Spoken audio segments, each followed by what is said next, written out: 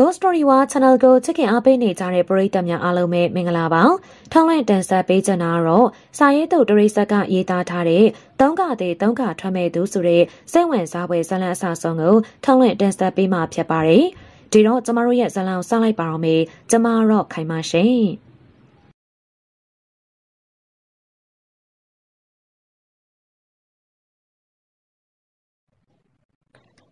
ဒီနေ့မှာကျွန်ုပ်နေထိုင်ရာကိုခင်မင်ရင်းနှီးတဲ့မိတ်ဆွေကြီးတယောက်ကရောက်လာတယ်။အဲ့ဒီမိတ်ဆွေမှာကျွန်ုပ်နဲ့နှစ်ပေါင်းများစွာကလေးကခင်မင်ရင်းနှီးခဲ့ကြတဲ့ဦးမေဟန်ဆိုသူပဲဖြစ်လေတယ်။လွန်ခဲ့တဲ့15နှစ်ခန့်ကဂမ်ဘီယာစာပေတွေကိုဦးစားပေးဖော်ပြခဲ့တဲ့မဂဇင်းတစ်စောင်မှာအလုံးလုံးနှုတ်ကြစဉ်ကသူနဲ့ခင်မင်တည်ကျွမ်းခဲ့ခြင်းဖြစ်လေတယ်။ကျွန်တော်နဲ့သူနေရာအနှံ့ကိုရောက်ခဲ့တဲ့အတွက်ထူးဆန်းတဲ့အကြောင်းအရာမျိုးစုံနဲ့လည်းထိတွေ့ခဲ့တဲ့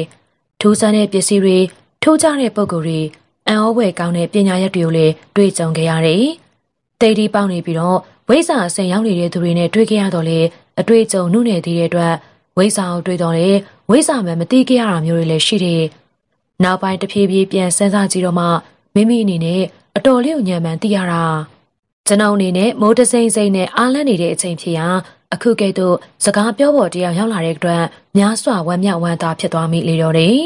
။အလို ဦးမေဟန်မလားဘယ်ကနေဘလို့ရောက်လာတာလဲဗျလာဗျာမတွေ့ရတာတော့တော့ကြာနေပြီနော်လူချင်းမတွေ့ကြပြီမဲ့ခမားရေးတဲ့စောက်တွေတော့အမြဲကိုဖတ်ရပါတယ်ဟိုတုန်းကရေးခဲ့တဲ့စောင်းမတွေဝတ္ထုတွေကအခုတော့လုံးချင်းဝတ္ထုတွေဖြစ်လာတာပေါ့နော်မှန်ပါတယ်ဗျာအဲ့ဒီတိုင်းပါပဲထက်ထက်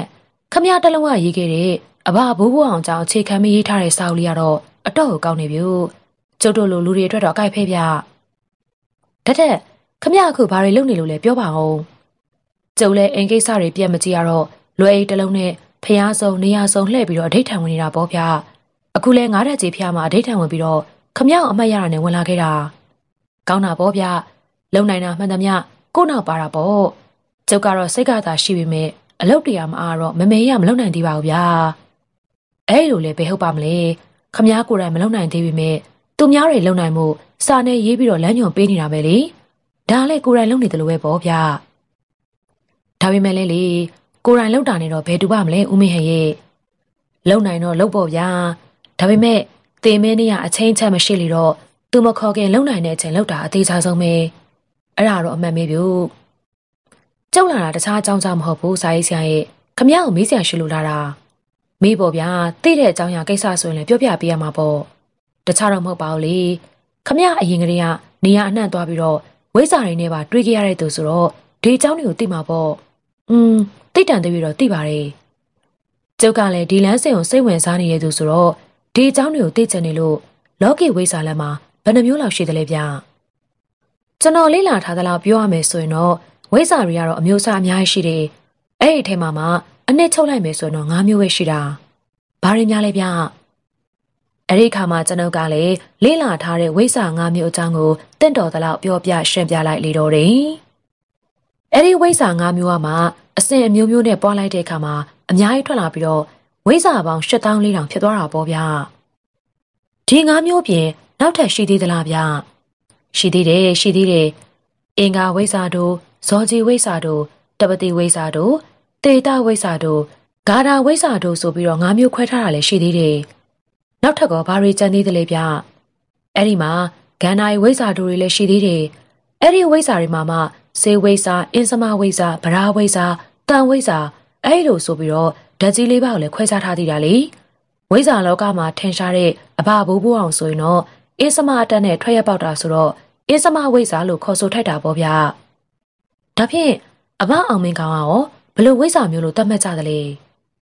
အဘဘုံမင်းကောင်တော့ အကျက်စာရဏနဲ့ပေါမြောက်ခဲ့တဲ့ပုံကုံမှုအကျက်ဝိစာလို့ခေါ်ဆိုနိုင်တယ်လေဓာတ်ထစကားမဆက်ခမည်းနယ်လေအိဒါဘဝတော်ကအဘရဲ့မွေးရစာတီစင်မြင့်ရွာရောက်ခဲ့သေးတယ်မဟုတ်လားရောက်ခဲ့ရုံဘဲကပါမလဲဗျာအဲ့ဒီစင်မြင့်ရွာမှာအခုချိန်နေရှိနေကြသေးတယ်အဘရဲ့ဆွေမျိုးသားချင်းတွေတချို့နဲ့တွေ့ခဲ့သေးတာအဘရှိစဉ်ကကိုးကွယ်ခဲ့တဲ့ဒက္ခိဏတာခရုပ်ပွားတော်လည်းဖူးခဲ့ရတယ်အဘပိုင်ဆိုင်နဲ့ထန်းတော့လည်းရောက်ခဲ့ရသေးတယ်ဗျဒါဖြင့် သူနဲ့ပတ်သက်ပြီးတော့ထိုးဆန်းတာတွေအတော်များများသိခဲ့ရမှာပေါ့နော်အဲ့ဒီနေရာပြင်ပုတ်ပါတောင်ကလေးရောက်တော့အဘနဲ့ပတ်သက်တဲ့အကြောင်းတွေကိုတော်တော်များများထပ်ပြီးတော့သိခဲ့ရသေးတယ်လေကဲဒီလိုဖြစ်လေခမည်းတွေ့ကြုံကြားသိခဲ့ရတဲ့အကြောင်းတွေကိုလုံးချင်းတအုပ်လောက်တော့ရေးတင်တာပေါ့ဗျာอืมမဂဇင်းထဲမှာတော့တော်တော်များများရေးခဲ့ပြီးပါပြီရွှေညောင်ပင်မြပြည့်ဓာတ်ထက်လို့စောင့်မေအဲ့လိုဆိုတဲ့ခေါင်းစဉ်နဲ့ရေးခဲ့တဲ့စောင်းမရှိလည်းရှိတယ်ဗျဒါပေမဲ့ ဝတ္ထုရေးတာနဲ့တော့ဘယ်တူပါမလဲဗျာဝတ္ထုရေးတာပို့ပြီးတော့ပြည့်စုံမှာပေါ့ခမည်းအနေနဲ့အဘဘိုးဘိုးအောင်ကြောင့်ဘာမဲ့ဆရာတော်ကြီးရဲ့အကြောင်းတွေတော့မှဝတ္ထုတွေနဲ့ရေးခဲ့ပြီးတော့မှအဘအောင်မင်းကောင်အကြောင်းလည်းရေးမှာတာဝန်ကြီးမပေါ်ဗျာအဲလိုပြောလေရကျွန်ုပ်လေတင့်တော်တဲ့ချိန်မှာရေးသားပါမယ်လို့ဝန်ခံလိုက်လေတော့တယ်အဲဒီနောက်မှာတော့ဦးမင်းဟန်လေတခြားအကြောင်းအရာတွေကိုပြောဆိုအပြင်ဘက်မှာမိုးဆဲသွားတဲ့ကကျွန်ုပ်ကိုနှုတ်ဆက်ပြီးတော့ပြန်သွားတယ် ကျွန်ုပ်လေဦးမင်းဟန်တယောက်တကူးတကလာရောက်ပြောဆိုသွားခြင်းမှာအကြောင်းမဲ့မဟုတ်တန်လို့တွေးမိတဲ့အတွက်အဲ့ဒီအကြောင်းကိုရေးသားရန်ပြင်ဆင်ရလေတော့တယ်အဲ့ဒီအတွက်ကြောင့်မအခုပြောပြပေးမယ်သုံးကသည်သုံးကထွက်တဲ့သူဆိုတဲ့ဂမ်ဘီယာစမ်းကျဲဝတ္ထုရှည်ကြီးကဖြစ်ပေါ်လာခဲ့တာပုပ္ပါတောင်ကတော့မြန်မာနိုင်ငံအတွင်းမှာရှိတဲ့တောင်မြင့်ကြီးတွေစရင်မှာမပါဝင်တော့လေထင်ရှားတဲ့တောင်လူသိများတဲ့တောင်တွေထဲမှာတော့တခုပါဝင်ဖြစ်ပေတယ်။ ဒါအပြင်တက်တန်းရဲ့ဆုံးတောင်ကြီးထဲမှာလည်းပါဝင်နေပုပ္ပါတောင်ဆိုသောအမည်ပြင်တခြားနာမည်တွေ၃မျိုးလည်းရှိသေးတယ်။၎င်းတို့မှာပုပ္ပါတောင်ပုပ္ပတောင်ပါပုတ်ဆိုသောအမည်၃မျိုးသာဖြစ်တယ်။ပုပ်ပားတောင်မာကြီးအကြောင်းကိုပြောမယ်ဆိုရင်တော့သူနဲ့ဆက်ဆက်နေတဲ့ထိုးကြတဲ့နေရာများစွာကိုလည်းအများအပြားရှိနေပေသေးတယ်။တောင်တွေ၊ကုန်းတွေ၊အိုင်တွေ၊ကန်တွေလည်းရှိသေးတယ်။အဲလိုဝင်းရံနေတဲ့နေရာတွေမှာလည်း ထူးထူးခြားခြားကိုရဝင်းကျတဲ့နေရာတွေဖြစ်နေတတ်သေးတယ်။ပလင်ကိုစင်တောင်ကိုတောင်ကုန်းကိုကုန်းအိုင်ဒေတာတွေကတော့အိုင်လို့ပြောတယ်။ကိုအိုင်ကန်ကိုကန်အောင်မြေကိုဌာနအဲလိုဆိုပြီးတော့အသီးသီးရှိတာ။ဒါအပြင်ပုပ်ပားတောင်နဲ့ပတ်သက်ပြီးတော့အောင်မြေကိုဌာနပြင်အံ့ဖွယ်ကိုပါလည်းရှိသေးတယ်။ပုပ်ပားတောင်ကိုတွားရောက်ပြီးတော့ဝိဇာလန်းဆန်အတွက်အထိတ်ထန်ဝင်ကြတဲ့သူတွေမှာအောင်မြေကိုဌာနကိုပြည်အောင်ဝင်ရတယ်။ ဒါအပြင်ပုပ်ပားတောင်မကြီးကိုဝင်းရံနေကြတဲ့တောင်တွေမှာထင်ရှားတဲ့တောင်တွေလည်းရှိတယ်။အဲ့ဒီအထဲမှာတော့လူသိများတဲ့တောင်ကလေးလည်းတနေရာအပါဝင်ဖြစ်ပေတယ်။အချိန်ကာလမှာ1300ပြည့်နဲ့1938ခုနှစ်အချိန်ကာလလောက်ကပင်ဖြစ်တယ်။အခုချိန်မှာပြန်လည်ရေတွက်မယ်ဆိုရင်တော့နှစ်ပေါင်း85နှစ်ဝန်းကျင်ချိန်ကြာမြင့်ခဲ့လေပြီ။အဲ့ဒီအချိန်လောက်တော့ကမြန်မာတိုင်းနိုင်ငံလုံးမှာစစ်ဘေးစစ်ဒဏ်တွေကြောင့်မငြိမ်မသက်ဖြစ်နေတဲ့ချိန်လည်းဖြစ်တဲ့1938ခုနှစ် 1300နှစ်ဝန်းကျင်တဝိုင်းမှာဆိုရင်တော့မြန်မာနိုင်ငံလွတ်လပ်ရေးအတွက်အပြင်းထန်လှုပ်ရှားမှုတွေပြုနေတဲ့ချိန်လည်းဖြစ်တာပေါ့။1938ခုနှစ်ဇန်နဝါရီလ10ရက်နေ့မှာ1300ပြည့်အရေးတော်ပုံကြီးဖြစ်ပေါ်စေတဲ့6ရင်းနဲ့မြေအလုတ်သမား BOC ကုမ္ပဏီကိုတပိတ်မောက်တဲ့အဖြစ်ပြက်နဲ့စတင်ခဲ့လေတယ်။1938ခုနှစ်ဇူလိုင်လ10ရက်နေ့မှာဆိုရင်တော့တိန်ကြီးစေးဘက်မှာကလားမြမှာအထည်ကယုံဖြစ်ပွားရာမန္တလေးထိပြန်နိုင်ခဲ့တယ်။လွန်ခဲ့တဲ့85နှစ်ခန့် 1300ပြည့်နှစ်ကပုပ်ပားတောင်ကြီးရှိတဲ့နေရာမှာတတော်ကြီးတွေနဲ့အေးချမ်းတဲ့နေရာဖြစ်လေတယ်။ပုပ်ပားတောင်မှာကြီးပေါ်မစိုးထားတဲ့တောင်ကလပ်မှာရှိတဲ့နေရာတစ်ဝိုင်းမှာတော့မှကျွန်းတော်ကြီးတွေဝါတော်ကြီးတွေတခြားတစ်ပင်ကြီးတွေနဲ့ပိတ်မောင်ကားစီးလျက်ရှိလေတယ်။ဘယ်နေရာပဲကြည့်ကြည့်တတော်ကြီးတွေနဲ့ညှိုမိုင်းလို့နေတာပေါ့။အဲဒါကြောင့်လေတရားအားထုတ်တဲ့သူတွေအဋိဌံဝင်လို့တဲ့သူတွေမကြာခဏရောက်လာလေရှိတယ်။ ရိတ်ခါနေနေရတော့တချို့လဲတောထဲမှာပဲတတိဝလန်တွေကိုရှာဖွေပြီးတော့စားတောက်ကြတယ်။တချို့ကလည်းတောင်မာကြီးနဲ့တောင်ကလပ်ဝင်းကျင်အဲဒီတဝိုက်မှာရှိတဲ့ရွာတွေကိုသွားပြီးတော့ရိတ်ခါရှာဖွေကြတယ်။တချို့ကြတော့လဲရွှေငွေပေးပြီးတော့ဝယ်ယူတယ်။တချို့ကြတော့လဲအလူခန့်နေ။ပုပ်ပားတောင်ကြီးနဲ့တောင်ကလပ်ပေါင်းဝင်အဲ့ဒီနေရာတဝိုင်းမှာအဋိဌံဝင်နေကြတဲ့ပုံကိုယ်တွေထွက်ရလန်းအတွက်စ조사အားထုတ်နေကြတဲ့သူတွေအများအပြားရှိခဲ့တာ အရှင်မေတ္တနိယယတိအရှင်တာရဒယတိဥတီလဥဝိနရှဘုံမင်းကောင်အစရှိတဲ့ပုံကိုယ်တွေမှာပုပ်ပားတောင်တဝိုင်းမှာနေထိုင်နေတဲ့ထွက်ရလန်းအတွက်ကြိုးပမ်းအားထုတ်ခဲ့ကြတဲ့သူတွေဖြစ်လေတယ်အဲ့ဒီပုံကိုယ်တွေပြင်အမျိုးအမည်မထင်ရှားတဲ့တခြားပုံကိုယ်အများများတို့လည်းရှိသေးတယ်။အဲ့ဒီပုဂ္ဂိုလ်တွေကရိတ်တာရက်တော်လကတခြားပြက်စီလိုအပ်၍တော်လကရွာတွေကိုဆင်းပြီးတော့လာလေရှိကြတယ်။ တချို့လေတောင်ကလပ်အောက်ခြေမှာရှိတဲ့ဈေးဆိုင်တွေကိုရောက်ရှိလာပြီး၎င်းတို့လိုရှိတဲ့ပစ္စည်းတွေကိုအလှခံနေတချို့ကြတော့လေတောင်ကလပ်ရောက်လာတဲ့သူတွေသူတို့တွေအတွက်အစားအသောက်ရောင်းချကြတယ်။တချို့ဆိုင်တွေမှာထမင်းဟင်းမုံပဲတည်ရကြရပြီးအမွေတိုင်ဖျောင်းနိုင်မိချက်စတဲ့တခြားအသုံးဆောင်ပစ္စည်းတွေပါတွဲဖက်ပြီးတော့ရောင်းချကြလေတယ်။ပုပ်ပားတောင်ကလပ်ကိုလာရောက်ကြတဲ့သူတွေမှာတချို့ကလည်းအဲ့ဒီဆိုင်ဒီမှာပဲတဲခိုကြတဲ့ ခေတ်ကာလမကောင်းတဲ့အချိန်ဖြစ်လို့တောင်ကလပ်ကိုလာရောက်တဲ့သူမများတော့လေအဲ့ဒီနေရာကိုအမိပြုတ်ပြီးတော့ဈေးရောင်းစားတောက်ကြတဲ့သူတွေမှာမချမ်းသာနိုင်ကြတော့လေစားဖို့တောက်ဖို့ရကြတယ်။အဲ့ဒီချိန်ကတောင်တက်လန်အစင်းတနေရာမှာထမင်းဆိုင်ကြီးတစ်ဆိုင်ရှိတယ်။ဆိုင်နာမည်ကတော့စေတနာထမင်းဆိုင်နဲ့ထမင်းဟင်းတွေပြင်တခြားသုံးဆောင်ပစ္စည်းတွေဝါရောင်းချတဲ့ကုံစုံဆိုင်ကြီးဖြစ်ပေတယ်။တောင်တက်လန်တစ်ပေးမြေကွက်လက်ကြီးမှာဆိုရင်တော့ပြင်အောင်အိမ်ကြီးတစ်လုံးရှိတယ်။အဲ့ဒီအိမ်ရှိမှဝါထရံက တက်ငယ်ပြင်မိုးထားတဲ့အဆောင်ကြီးရှိတယ်။တစ်ဖက်မှာတော့ထမင်းဟင်းနဲ့တခြားကုန်ပစ္စည်းတွေရောင်းချပြီးတစ်ဖက်မှာတော့တက်သားနဲ့ပြုတ်လုပ်ထားတဲ့ကုပ်ပစ်တွေထလန်းနဲ့ပြုတ်လုပ်ထားတဲ့ကလတ်ထိုင်တွေနဲ့ဇပွဲတွေကိုချပေးထားတာအဲ့ဒီနေရာမှာတောင်ကလပ်ကိုလာရောက်တဲ့ဧည့်သည်တွေအတွက်တဲခုရန်စီစဉ်ပေးထားခြင်းဖြစ်လေတယ်စေတနာထမင်းဆိုင်ပိုင်ရှင်မှာဥဆန်ပေါ်ဆိုသူဖြစ်ပြီးတော့၎င်းမှာမိသားစု၄ယောက်ရှိတဲ့ဥဆန်ပေါ်ကအသက်50ကျော်ခန့်ရှိပြီးဇနီးဖြစ်သူဒေါ်လာမီယာ90ခန့်ရှိလေတယ်၎ င်းတို့မှာသားသမီး3ယောက်ရှိပြီးတော့3ယောက်စလုံးအရွယ်ရောက်ကြပြီတာအကျေဆုံးထွန်ခါကအသက်30သမီးအလက်မြာနှင်းဖြူက23နဲ့တားငယ်မောင်လာတော်မှာအသက်20ကျော်အရွယ်ကိုရောက်နေပြီသူတို့မိသားစုမှာတာအကျေထွန်ခါတယောက်သာအိမ်အောင်ကြပြီးတော့ကျန်တဲ့နှစ်ယောက်ကအပြိုလူပြိုတွေဖြစ်ကြတယ်ထွန်ခါကဥဆန်ပေါ်ပိုင်တဲ့ထန်တော်တွေကိုဦးစီးလောက်ကိုင်းကျန်တဲ့နှစ်ယောက်ကတော့မိဘနဲ့ပဲအတူတူလို့ဈေးဆိုင်လုပ်ကိုဝိုင်းလို့ဝိုင်းကင်လက်ကြတယ် ထွန်ခါကလည်းထန်တော်တွေကိုလောက်ကင်နေသည်ဆိုတော့လေစီးပွားတို့ဖြစ်တဲ့အတွက်ထန်တော်မှာအလုံးမရှိပါကဈေးဆိုင်ကိုလာရောက်ပြီးတော့နေထိုင်လေးရှိတယ်။မိဘတွေကစီးပွားရေးချောင်းလဲကြသူတွေဖြစ်တဲ့အတွက်သားသမီးတွေကလည်းအိမ်အောင်ကြပြီမဲ့အိုမခွဲအိမ်မခွဲမိဘတွေနဲ့တာအတူတူပေါင်းနေတာ။ထွန်ခါမှာထန်တော်မှာလောက်ကင်နေရသူဖြစ်တဲ့အတွက်ကြောင့်အတောင်စားရှိပြီးတော့စိတ်ချမ်းလူချမ်းသမားတအုပ်ဖြစ်လေတယ်။တနေ့တော်မနက်ပိုင်းချိန်မှာ၎င်းတို့ဆိုင်တွင်ကိုတောက်ချဆောင်ထားတဲ့ရသေးတစ်ပါးရောက်လာတယ်။ အဲ့ဒီနေရာမှာရသေးတွေကိုမကြခဏတွေ့နေရတာအထူးဆန်းတော့မဟုတ်တော့ဘူး။ဆိုင်ထဲကိုရသေးဝင်လာတာမြင်တော့မဲမြထွက်သွားပြီးစားစရာတချို့လောင်းနေမဲမြဆိုတာတော့ထွန်ခါရဲ့မိန်းမကျုပ်တခြားပစ္စည်းလေးတွေလိုချင်လို့လာခဲ့တာပါအဲ့ဒီခါမှာတော့မဲမြကသူ့သဘောနဲ့သူမပေးဝင်တော့တဲ့အတွက်ထွန်ခါကိုလှမ်းခေါ်တဲ့အတွက်ဆက်လိုက်တော့ရမှာထလာပြီးတော့မေးတယ်ဘာဖြစ်လို့လဲရသေးရတခြားပစ္စည်းတွေလိုချင်တယ်လို့ပြောနေတယ် ပတ်စံနဲ့ရောင်းတဲ့ဆိုင်ရပစ္စည်းတွေကိုလိုချင်နေဆိုရင်တော့ပတ်စံနဲ့ဝယ်မရမှာပေါ့ဗျာမင်းတို့ပစ္စည်းတွေကိုငါလည်းအလကားမြူပါကွယ်ကဲကဲဖျောင်းနိုင်တော့အမွေတိုင်းမိကျင်းနဲ့ပြားမှုစေတပီလောက်သာပေးပါထွန်းခလည်းရသေးကြီးကိုတစ်ချက်ကြည့်လိုက်ပြီးသူလိုချင်တဲ့ပစ္စည်းတွေကိုချပေးလိုက်တယ်ဘလောက်ကြသလဲအားလုံးနှစ်ချက်နဲ့တမတ်ကြတယ်ရသေးရသူ့ခါးထဲမှာအိတ်တလုံးကိုထုတ်အဲ့ဒီထဲမှာငွေပြားတစ်ပြားကိုချပေးလိုက်တယ် ဒီငွေပြားဘလောက်တန်နေဆိုတာမင်းသိရလားငါယူတဲ့ပစ္စည်းတွေတန်မိုးအတွက်ဒီငွေပြားပေးထားခဲ့မယ်ကျင်းနေရလားထွန်းခါကငွေသားကိုအပြားပြုတ်လောက်ထားတဲ့အရာကိုတအံတအောကြီးအယောင်ယောင်အမမနဲ့ကောင်းကြီးပြလိုက်တယ်ရသေးရပစ္စည်းတွေကိုလွယ်ထဲကိုထည့်နေပြောလိုက်သေးတယ်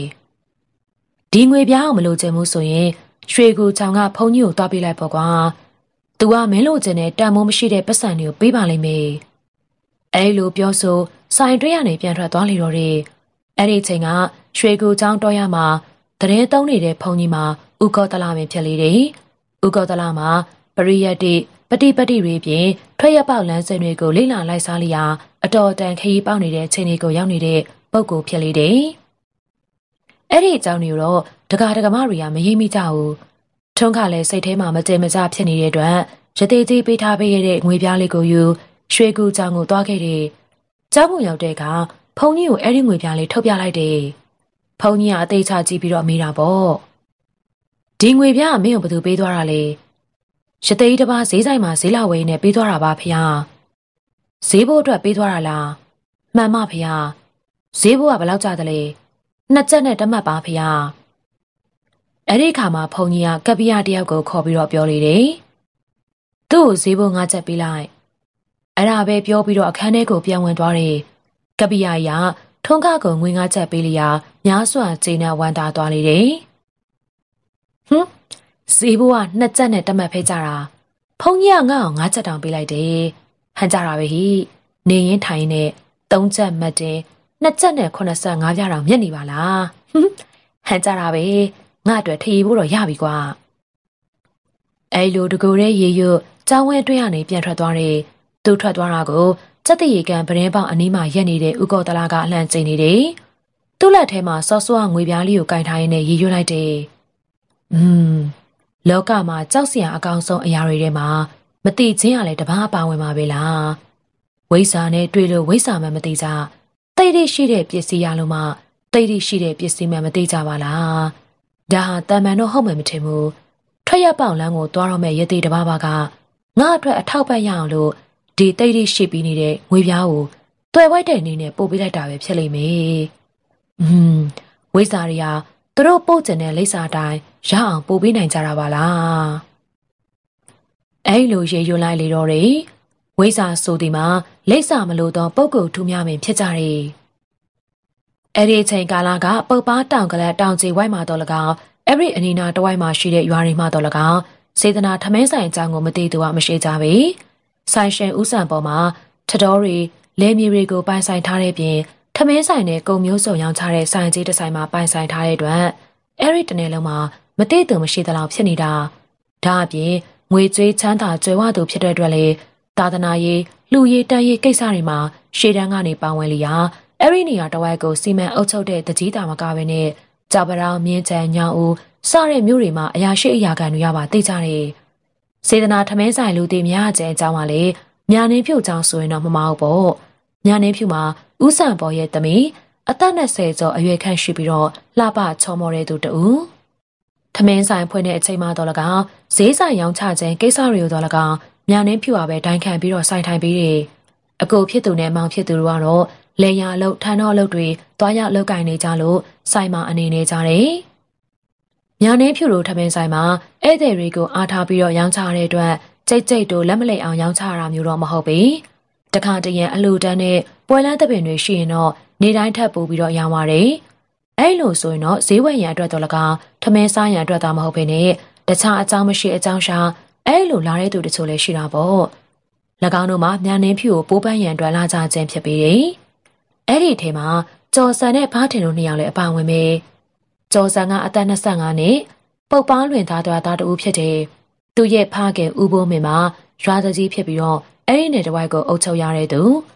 ဦးဘိုးမင်းမှာဩဇာအာဏာရှိသူတယောက်ဖြစ်ုံသားမကဘဲနဲ့လေယာမြေတော်တော်များများပိုင်ဆိုင်ပြီးစီးပွားရေးချောင်လဲတဲ့သူလည်းဖြစ်သေးတယ်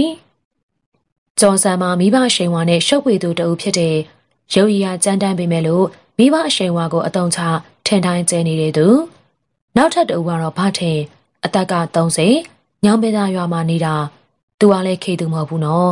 မိဘဘိုးဘွားတွေထံကအမွေရထားတဲ့ထန်းတော်တွေရှိပြီးငွေကြေးချောင်လဲတဲ့သူညာနင်းဖြူအကိုထုံခါနဲ့တငယ်ချင်းဖြစ်တယ်လို့ထရေတောက်ဖက်တေဘော်တေဘက်တွေဖြစ်ကြတာပေါ့သူကလည်းအိမ်အောင်ကြဘူးတော့လေနောက်ပိုင်းမှာလင်မယားချင်းကွာရှဲပြက်ဆဲပြီးတော့အခုတော့လူလူတူဖြစ်နေလေရဲ့လေကျော်စံတဲ့ဘားထင်တို့နှစ်ယောက်စလုံးကကိုနီးကိုဟန်နဲ့ညာနင်းဖြူကိုပိုးပန်းနေကြတဲ့သူတွေ ကျော်စံကဖခင်အရှင်ဝါကိုအတုံးချပြီးတော့ပိုးပန်းတယ်လို့ဘားထင်ကလည်းထွန်းကားကိုအပေါင်းအသင်းပြုတ်လုထားပြီးတော့ညာနေဖြူနဲ့ရင်းနှီးမှုရှိအောင်စူးစမ်းနေတဲ့သူညာနေဖြူကတော့ဘသူမှအလေးမထားပုံမှန်အတိုင်းသာဆက်ဆက်နေညာနေဖြူရဲ့မိဘတွေကလည်းညာနေဖြူအရွယ်ရောက်ပြီဖြစ်တဲ့အတွက်သူမစိတ်ကြရွေးချယ်ခွင့်ပေးထားတယ်။ကြော်စံနေပဲဖြစ်စေဘားထန်နေပဲဖြစ်စေအစဉ်ပြေသွားမယ်ဆိုရင်တော့ညင်ပယ်စရာမရှိကြပေ။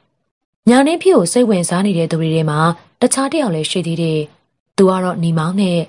ညီမောင်ကအဲ့ဒီနေရာတဝိုက်ကမဟုတ်ဘဲနဲ့ကြောင်ရှာတော်ရွာဘက်မှာဖြစ်လေတယ်။ကြောင်ရှာတော်ရွာမှာရေနံကျောင်းနဲ့ကြောက်ပတောင်သွားတဲ့ကားလန်နဘေးမှာရှိတဲ့ရွာကြီးတစ်ရွာဖြစ်လေတယ်။ကားလန်နဘေးမှာရှိပြီးတော့ရေနံကျောင်းကြောက်ပတောင်မျိုးတွေနဲ့မဝေးလာဘဲနဲ့အလဲနေရာလောက်မှာရှိတဲ့အတွက်များစွာစီကတိုးတက်တဲ့ရွာတစ်ရွာလည်းဖြစ်တယ်။ညီမောင်ကအသက်25နှစ်အဲ့ဒီရွာသားတူ မိဘတွေကတောင်ရလုံးနဲ့အတန်အသင့်ခြောင်လဲတဲ့သူတွေဖြစ်တော့လေညီမောင်ကတော့တောင်ရလုံးကိုမလုပ်လို့ပဲ။တောင်ရလုပ်တွေကိုတခြားလုပ်သမားတွေနဲ့ထားပြီးသူကရေနံချောင်းကြောက်ပရောင်မြင်းကြိုင်ညောင်ဦးမခွေးမျိုးထိစုံကြီးစံကြီးတွားလာပြီးတော့ကုံရောင်းကုံဝဲအလုပ်တွေကိုသာလုပ်တယ်။အဲလိုလှဲ့လေတွားလာရင်းနဲ့ပုတ်ပန်းကိုလည်းမကြာခဏရောက်လို့ရှိတယ်။တောင်ကလပ်ကိုရောက်တိုင်းလေစေတနာထမင်းဆိုင်ကိုဝင်ရောက်ပြီးတော့တဲခိုတယ်။သူဟာငယ်စဉ်ကလေးကဘာသာရေးကိုစိတ်ဝင်စားတဲ့သူယုံကြည်ကိုးကွယ်တဲ့သူ ဒီနေ့မှတော့ခရီးသွားရင်းနဲ့ပုတ်ပန်းတောင်ကလပ်ပေါ်ကိုရောက်တဲ့အခါအဖိုးတုံးနဲ့တွေ့ရတယ်။အဲ့ဒီအဖိုးကသူ့ကိုတွေ့တဲ့အခါဒါလိုပြောတယ်။တနေ့ကျရင်တောင်ကလပ်ကိုပုတ်ကုတ်တူတူရောက်လာလိမ့်မယ်ကွ။မင်းသူနဲ့တွေ့အောင်စူးစမ်းပါ။သူနဲ့တွေ့တဲ့အခါမှာမင်းအတွက်အကျိုးကျေးဇူးတွေအများကြီးရလိမ့်မယ်။အဲ့လိုပြောသွားခဲ့လေတယ်။အဲ့ဒီအဖိုးကြီးနဲ့တွေ့ခဲ့ဒီမှာသုံးနှစ်ခန့်အောင်ကြာခဲ့ပြီ။ဒါပေမဲ့နေမောင်းစိတ်ထဲမှာတော့အဲ့ဒီစကားမေးလို့မရသေးဘူးပုပ်ပားတောင်ဘက်ကိုရောက်တိုင်းမှာလေ အဲ့ဒီစကားတောင်တတိယပြီးတော့ပြန်လဲကြာရောက်နေတယ်အဲ့ဒါကြောင့်တလားတစ်ခေါက်လောက်တော့ပုပ်ပားတောင်ကလပ်ဘက်ကိုရောက်အောင်သွားတယ်ရောက်ပြီဆိုရင်တော့စေတနာထမင်းဆိုင်ကိုဝင်ပြီးအစာအသောက်တွေစားတယ်တခါတရံမှာလည်းအချိန်ရရင်တော့တညတန်တွေနှစ်ညတန်တွေအဲ့ဒီဆိုင်မှာပဲတဲခိုတယ်အဝင်အထွက်များလာတဲ့အချိန်ညာရင်းဖြူနဲ့ခင်မင်တည်ကျွမ်းခဲ့ရတယ်ရှေးဘဝရဲ့ရေးစက်လာတော့မသိဘူးညာနှင်းဖြူကိုတွေးစားမှာပဲနေမောင်ကသူမအပေါ်မှာစိတ်ဝင်စားသလိုညာနှင်းဖြူကလည်း သူ့ကိုတရေထားမိဟန်ရှိတယ်တွေ့မြင်တာနဲ့အပြုံးနဲ့နှုတ်ဆက်တယ်အတွေ့အမြင်များတဲ့အခါနမေတော်မှသိနေကြပြီ။အော်ကိုနီမမလားဒီတစ်ခေါက်ပေါ်မလာတော့အတော်လေးကိုကြာပါပေါ့လားရှင်။ဟုတ်ပါတယ်ဗျာကျွန်တော်လည်းအလုပ်တွေများနေလို့စိတ်ကသာရောက်ပေမဲ့လူကမရောက်နိုင်ဘူးဖြစ်နေတာ။အေးပေါ့လေအလုံများတဲ့သူဆိုတော့လေဒီလိုပဲပေါ့ထက်ထက်ရောင်းဝယ်ကိစ္စတွေရောကောင်းရဲ့လားပုံမှန်တော့ရှိပါတယ်ခက်ကာလာအချိန်ကြီးမကောင်းတော့ တနေရာနဲ့တနေရာသွားရင်လာရတိတ်မကောင်းလာဘူးဒီလိုပဲပေါ့ရှင်စီးပွားရေးလောက်ရတာလည်းလုပ်ပေါ့သွားလာတဲ့အခါမှာလည်းသတိဝိရလေးထားပြီးတော့သွားလာပေါ့ရှင်အခုလိုသတိပေးတာကျေးဇူးတင်ပါတယ်ဗျဓာတ်ထက်ဒီတစ်ခါမှရောအေးစစ်စစ်ပဲလားတညာရင်နှစ်ညာရီလောက်တော့နေမယ်လို့စိတ်ကူးထားတယ်တောင်ကလက်ထိပ်ပေါ်တက်ပြီးတော့အဋိဌံဝင်မှုလည်းရှိနေသေးတော့။အော်ဒီတော့လေကျွန်တော်ဖြစ်စည်းလေးတွေဒီမှာပဲအထားပြစီ။ရပါတယ်ရှင်။ထက်ထက်ဒီမှာပဲတဲ့ဒီမှာပဲထမင်းစားမှာမဟုတ်လားရှင်။ဟုတ်ပါတယ်။ အဲ့ဒီခါမှာတော့မြနင်းဖြူကကျင်းနဲ့တဲ့အမူအရာနဲ့နေမောင်အတွက်ထမင်းတွေပြင်ဆင်ပေးလေတယ်။အဲ့ဒီအချိန်မှာပဲတခြားဈေးဝယ်သူထမင်းစားသူတွေရောက်လာတဲ့အတွက်စကားမဆက်ဖြစ်ကြတော့ပြီ။ထမင်းစားတော့ပြီးရဲ့နောက်နေမောင်ကထမင်းဖို့ကြားတဲ့ငွေကိုရှင်းပေးပြီးတောင်ကလပ်ပေါ်ကိုတက်သွားတယ်။ရှေးခါတော့တောင်ကလတ်ထိပ်ကိုရအောင်လို့တက်မယ်ဆိုရင်တော့တောင်ထိပ်ပေါ်မှာအောက်ကိုခုနှစ်ရက်တစ်ကြိမ်ရေတောက်ဆင်းလာမဲ့ຫນွေငန်းပင်ကြီးတွေကိုတွေ့ကပ်ဆွဲငင်ပြီးတော့လိုက်ရတယ်။ ။နှွေငန်းပင်ကြီးတွေမှာရေတောင်ဆန်းလာတဲ့အချိန်မှာအပေါ်မမွေတကောင်လိုတအီအီနဲ့ရှော့ဆန်းလာပြီးတော့ပြန်တက်တဲ့အခါမှာလည်းအဲ့လိုပဲတအီအီနဲ့ပြန်တက်သွားကြတယ်။တောင်ထိပ်ကိုလိုက်လိုတဲ့သူတွေက၎င်းတို့ရေတောင်ပြီးတဲ့အချိန်ကိုစောင့်ပြီးတော့ဖတ်တွေပြီးတော့လိုက်ရတာ။ပြန်ဆန်းတော့လေအဲ့ဒီနေ့တိုင်းပဲအဲ့ဒီနှွေရှင်တွေအောက်ကိုဆင်းတဲ့အချိန်ကိုစောင့်ပြီးတော့ဆင်းရတယ်။တကယ်လို့နှွေငန်းပင်ကြီးတွေဆင်းပြီးတော့လာတဲ့အချိန်မှာအဲ့လိုမဟုတ်ဘူးဆိုရင်တော့ချုံးချိတ်ပြီးတော့တက်ရတာ။ချုံးချိတ်တက်ရတဲ့အလုံးမှာ ຫນွေငန်းပင်ကြီးတွေနဲ့တက်ရဆင်းရတာတော့အန်ဒီမကင်းလာပြီ။မိမိရဲ့ကိုယ်လေးချိန်ကိုခံနိုင်လောက်တဲ့တက်သားချိတ်ဒါမှမဟုတ်ရင်တော့ဝါးချိတ်တွေကိုအသုံးပြုပြီးတော့တစ်ကိုင်းမှာပဲဖြစ်စေကြောက်စုံတွေကိုဖြည့်စေချိတ်ထားပြီးအဲ့ဒီချိတ်ကိုအားပြုပြီးတော့ဆွဲတက်ကြရကြတာဖြစ်ပေတယ်။အသုံးပြုတဲ့ဂျိတ်မခိုင်ရင်လည်းဖြစ်စေလှမ်းချိတ်ထားတဲ့တက်ကိုင်းနဲ့ကြောက်စုံးတွေမခိုင်ရင်ဖြစ်စေပြုတ်ကျနိုင်လေတယ်။ နောက်ပိုင်းရောက်လာတော့တချို့တက်ရခက်တဲ့နေရာတွေမက်ဆောက်တဲ့နေရာတွေမှာဝါးလေကတက်သားလေးကຫນွေကျိုးလေကတွေတက်ဆင်အသုံးပြုပြီးတော့အပုပ်အတက်ဆင်ပြုကြတဲ့နောက်ပိုင်းရောက်တော့မှအတက်ဆင်လွယ်ကူစေဖို့အတွက်တန်လေကားတွေတက်ဆင်ကြခြင်းဖြစ်ပေတယ်။နီမောင်ဟာလွယ်အိတ်တလုံးကိုလွယ်ပြီးတော့တောင်ကလက်ထိတ်ကိုတက်ခဲ့တယ်။တန်ကလတ်ထိပ်ပေါ်ရောက်တဲ့အခါမှာပါလာတဲ့ရေဘူးကိုတောက်ပြီးတော့အတန်ကြောင်အမောဖြာသေးတယ်။ သူ့ရဲ့လွယ်ထဲမှာတော့စောင်းချမ်းတစ်ထည်ဖျောင်းနိုင်တော့မေးချစ်မုံကြောင်အဲ့လိုတချို့နဲ့ရေဘူးတွေပါလာတယ်။အမောပြည့်တဲ့အခါမှာတောင်ကလတ်ထိပ်ပေါ်ကိုလိုက်လံကြည့်ရှုတယ်။အဲ့လိုကြည့်နေရင်လည်းတိတ်ရီပေါက်တဲ့ပုံကိုယ်တွေဟာပုတ်ပါတောင်မကြီးနဲ့တောင်ကလတ်ထိပ်ပေါ်ကိုအချိန်မရွေးကူးကြည့်တန်းစီပြုတ်လုပ်တဲ့ပုံတွေကိုမျက်စိထဲမှာမြင်အောင်နေမိတော့တယ်။တောင်ကလတ်ထိပ်ပေါ်မှာရှိတဲ့ဇေဒီရှိမှာငြိမ်သက်စွာအဋိဌံဝင်နေတဲ့အဖိုးကြီးတယောက်ကိုနေမောင်တွေ့သွားတယ်။ဖြင်းချမ်းတိုက်ပုံအောင်နဲ့ ပစိုးအကွက်တစ်ထည်ကိုဝတ်ထားပြီးကြီးမားတဲ့ပရိကိုတကြောင်ကြောင်နဲ့မြည်အောင်လို့စိတ်နေတာ။ဦးကောင်းပေါ်မှာလည်းကောက်ထုတ်အောင်တလုံးကိုစောင်းထားတယ်။နေမောင်လည်းသူ့အတွက်အဖော်တယောက်ရှိတဲ့အတွက်အားတက်သွားတာပေါ့။နေမောင်ဖျားရှိကိုအဋိဌံဝင်ပြီးတိုင်းသူ့ဘဝတစ်ချောင်းလုံးမှာအလုံးစုံဆုံးလို့ယူရတဲ့အရာတစ်ခုကိုသစ္စာပြုလေတယ်။ဖျားတပည့်တော်သည်လူမှန်တည်တဲ့ဆမကားမှုကိုတည်သောချိန်မှစ၍ယရနာသုံးပါးကိုယုံကြည်ကိုးကွယ်ပါ၏ဖျား ဖျားတပည့်တော်သည်လူမှန်တည်တဲ့ဆမကားမှုကိုတည်သောချိန်မှစ၍အယက်သေးစာတောက်စားခြင်းကိုရှောင်ကျဉ်ခဲ့ပါသည်ဖျားဖျားတပည့်တော်သည်လူမှန်တည်တဲ့ဆမကားမှုကိုတည်သောချိန်မှစ၍ကာမေသူမိစ္ဆာစာရကံကိုမချိုးဖောက်မိအောင်လို့ဆောင်ထိန်ခဲ့ပါသည်ဖျားဤမှန်ကံမှာကဖျားတပည့်တော်တွေ့လို့သောပုဂ္ဂိုလ်တို့နှင့်ကြုံကြိုက်ခွင့်ရပါရစေသာအဲလိုသစ္စာပြုမေတ္တာပို့ခြင်းအမြတမ်းပေးဝေခြင်းတွေဝေပြီးတဲ့အခါမှာ ညာပိုင်းချိန်ကိုရောက်နေပြီဖះဝေပြုတ်ပြီးနေရာမထားတဲ့အခါသူနဲ့မနေမွေးမှထိုင်နေတဲ့အဖိုးကြီးကိုတွေ့ရတယ်ဘာတွေများဒီလောက်ကြောင်ဆူတောင်းနေရတယ်လဲကွာနီမောင်ကရေလိုက်ပြီးတော့သူဆူတောင်းတဲ့အကြောင်းအရာတွေကိုပြောပြလိုက်လေတော့တယ်ဒါပဲလားချမ်းသာဖို့ဆူမတောင်းဘူးလားလူမချမ်းသာခြင်းနေပါစေပါရဲ့စိတ်ချမ်းသာရင်တော့တော်ပါပြီအဲ့လိုသဘောထားနိုင်ရင်တော့အကောင်းဆုံးပေါ့ကွာကိုလုံးရမယ့်အလုပ်တွေကိုမှန်မှန်လုပ်နေရင်တော့ ဒီနေ့မှာတော့မင်းလိုချင်တာလည်းရစီမပေါ့တွေ့ချင်တဲ့သူနဲ့လည်းတွေ့ရစီမပေါ့အဲ့လိုပြောပြီးတော့တခြားနေရာဘက်ကိုထားသွားလိတော့တယ်နီမောင်လည်းအဲ့ဒီစကားတခွန်ကြားလိုက်ရတာနဲ့ပင်စိတ်ထဲမှာအားရှိလာသလိုခံစားလိုက်ရတယ်နောက်တနေ့မနက်ပိုင်းမှာတောင်ကလပ်ပေါ်မှာလိုက်လံရှာဖွေကြည့်တော့လေအဲ့ဒီအဖိုးကြီးကိုမတွေ့ရတော့ဘူးသူ့အရင်ပြန်ဆန်းသွားပြီလို့ထင်တဲ့အတွက်သူလည်းပြန်ဆန်းလာတယ်ထမဲဆိုင်အောင်ပြန်ရောက်တဲ့အခါမှာမြာနေဖြူကလူတယောက်နဲ့စကားပြောရမှထားလာတယ် အဲ့ဒီသူကလည်းအကဲခတ်တယ်လို့နဲ့နောက်ကနေထားလိုက်လာတယ်အဲ့ဒီသူကတော့မြာနေဖြူကိုပိုးပန်းနေတဲ့ကြော်စံမဲဖြစ်လေတယ်ကိုနီမောင်ပြန်ဆန်းလာပြီလားဟုတ်ကဲ့ထမဲစားတော့မလားမစားသေးပါဘူးခဏနာပြီးတော့မှပဲစားတော့မယ်ထက်ထက်ဘယ်တော့ပြန်ဆန်းမလဲဒီတညတော့ဒီမှာတဲပြီးတော့မနက်စောစောမှပဲပြန်ဆန်းတော့မယ်အဲ့ဒီစကားကြောင့်မြနှင်းဖြူမျက်နှာပေါ်မှာကျေနပ်မှုလေးတွေဖြစ်ပေါ်သွားလေတယ်အဲ့ဒီချိန်မှာကျော်စံက မြလေး तू ကဘာတူလဲအော်သူ့နာမည်ကကိုနီမောင်လို့ခေါ်တဲ့ကြောင်ရှာတော်ရွာလာတာလေနင်းနဲ့ဘယ်တော့သိနေရလဲ तू ကအယောင်းဝယ်လုပ်နေတဲ့ကုံတဲ့တယောက်ဒီပုပ်ပါဘက်ကိုလည်းမကြာခဏရောက်တယ်ရောက်တိုင်းလည်းဒီဆိုင်မှာဝင်ပြီးတော့တဲနေကြပဲလေအဲ့ဒီအချိန်မှာနေမောင်ကသူ့အပ်ထားတဲ့အထုပ်ကိုတောင်းယူကိုပြည့်ရှိအောင်ထွက်သွားတယ်အခုအချိန်ကခစ်ကာလာကောင်းတာမဟုတ်ဘူးမြားလေးရဲ့ရဝေးရလာတဲ့သူတွေကိုဘာဖြစ်လို့တရင်တရင်ဆက်ထန်နေရတာလဲ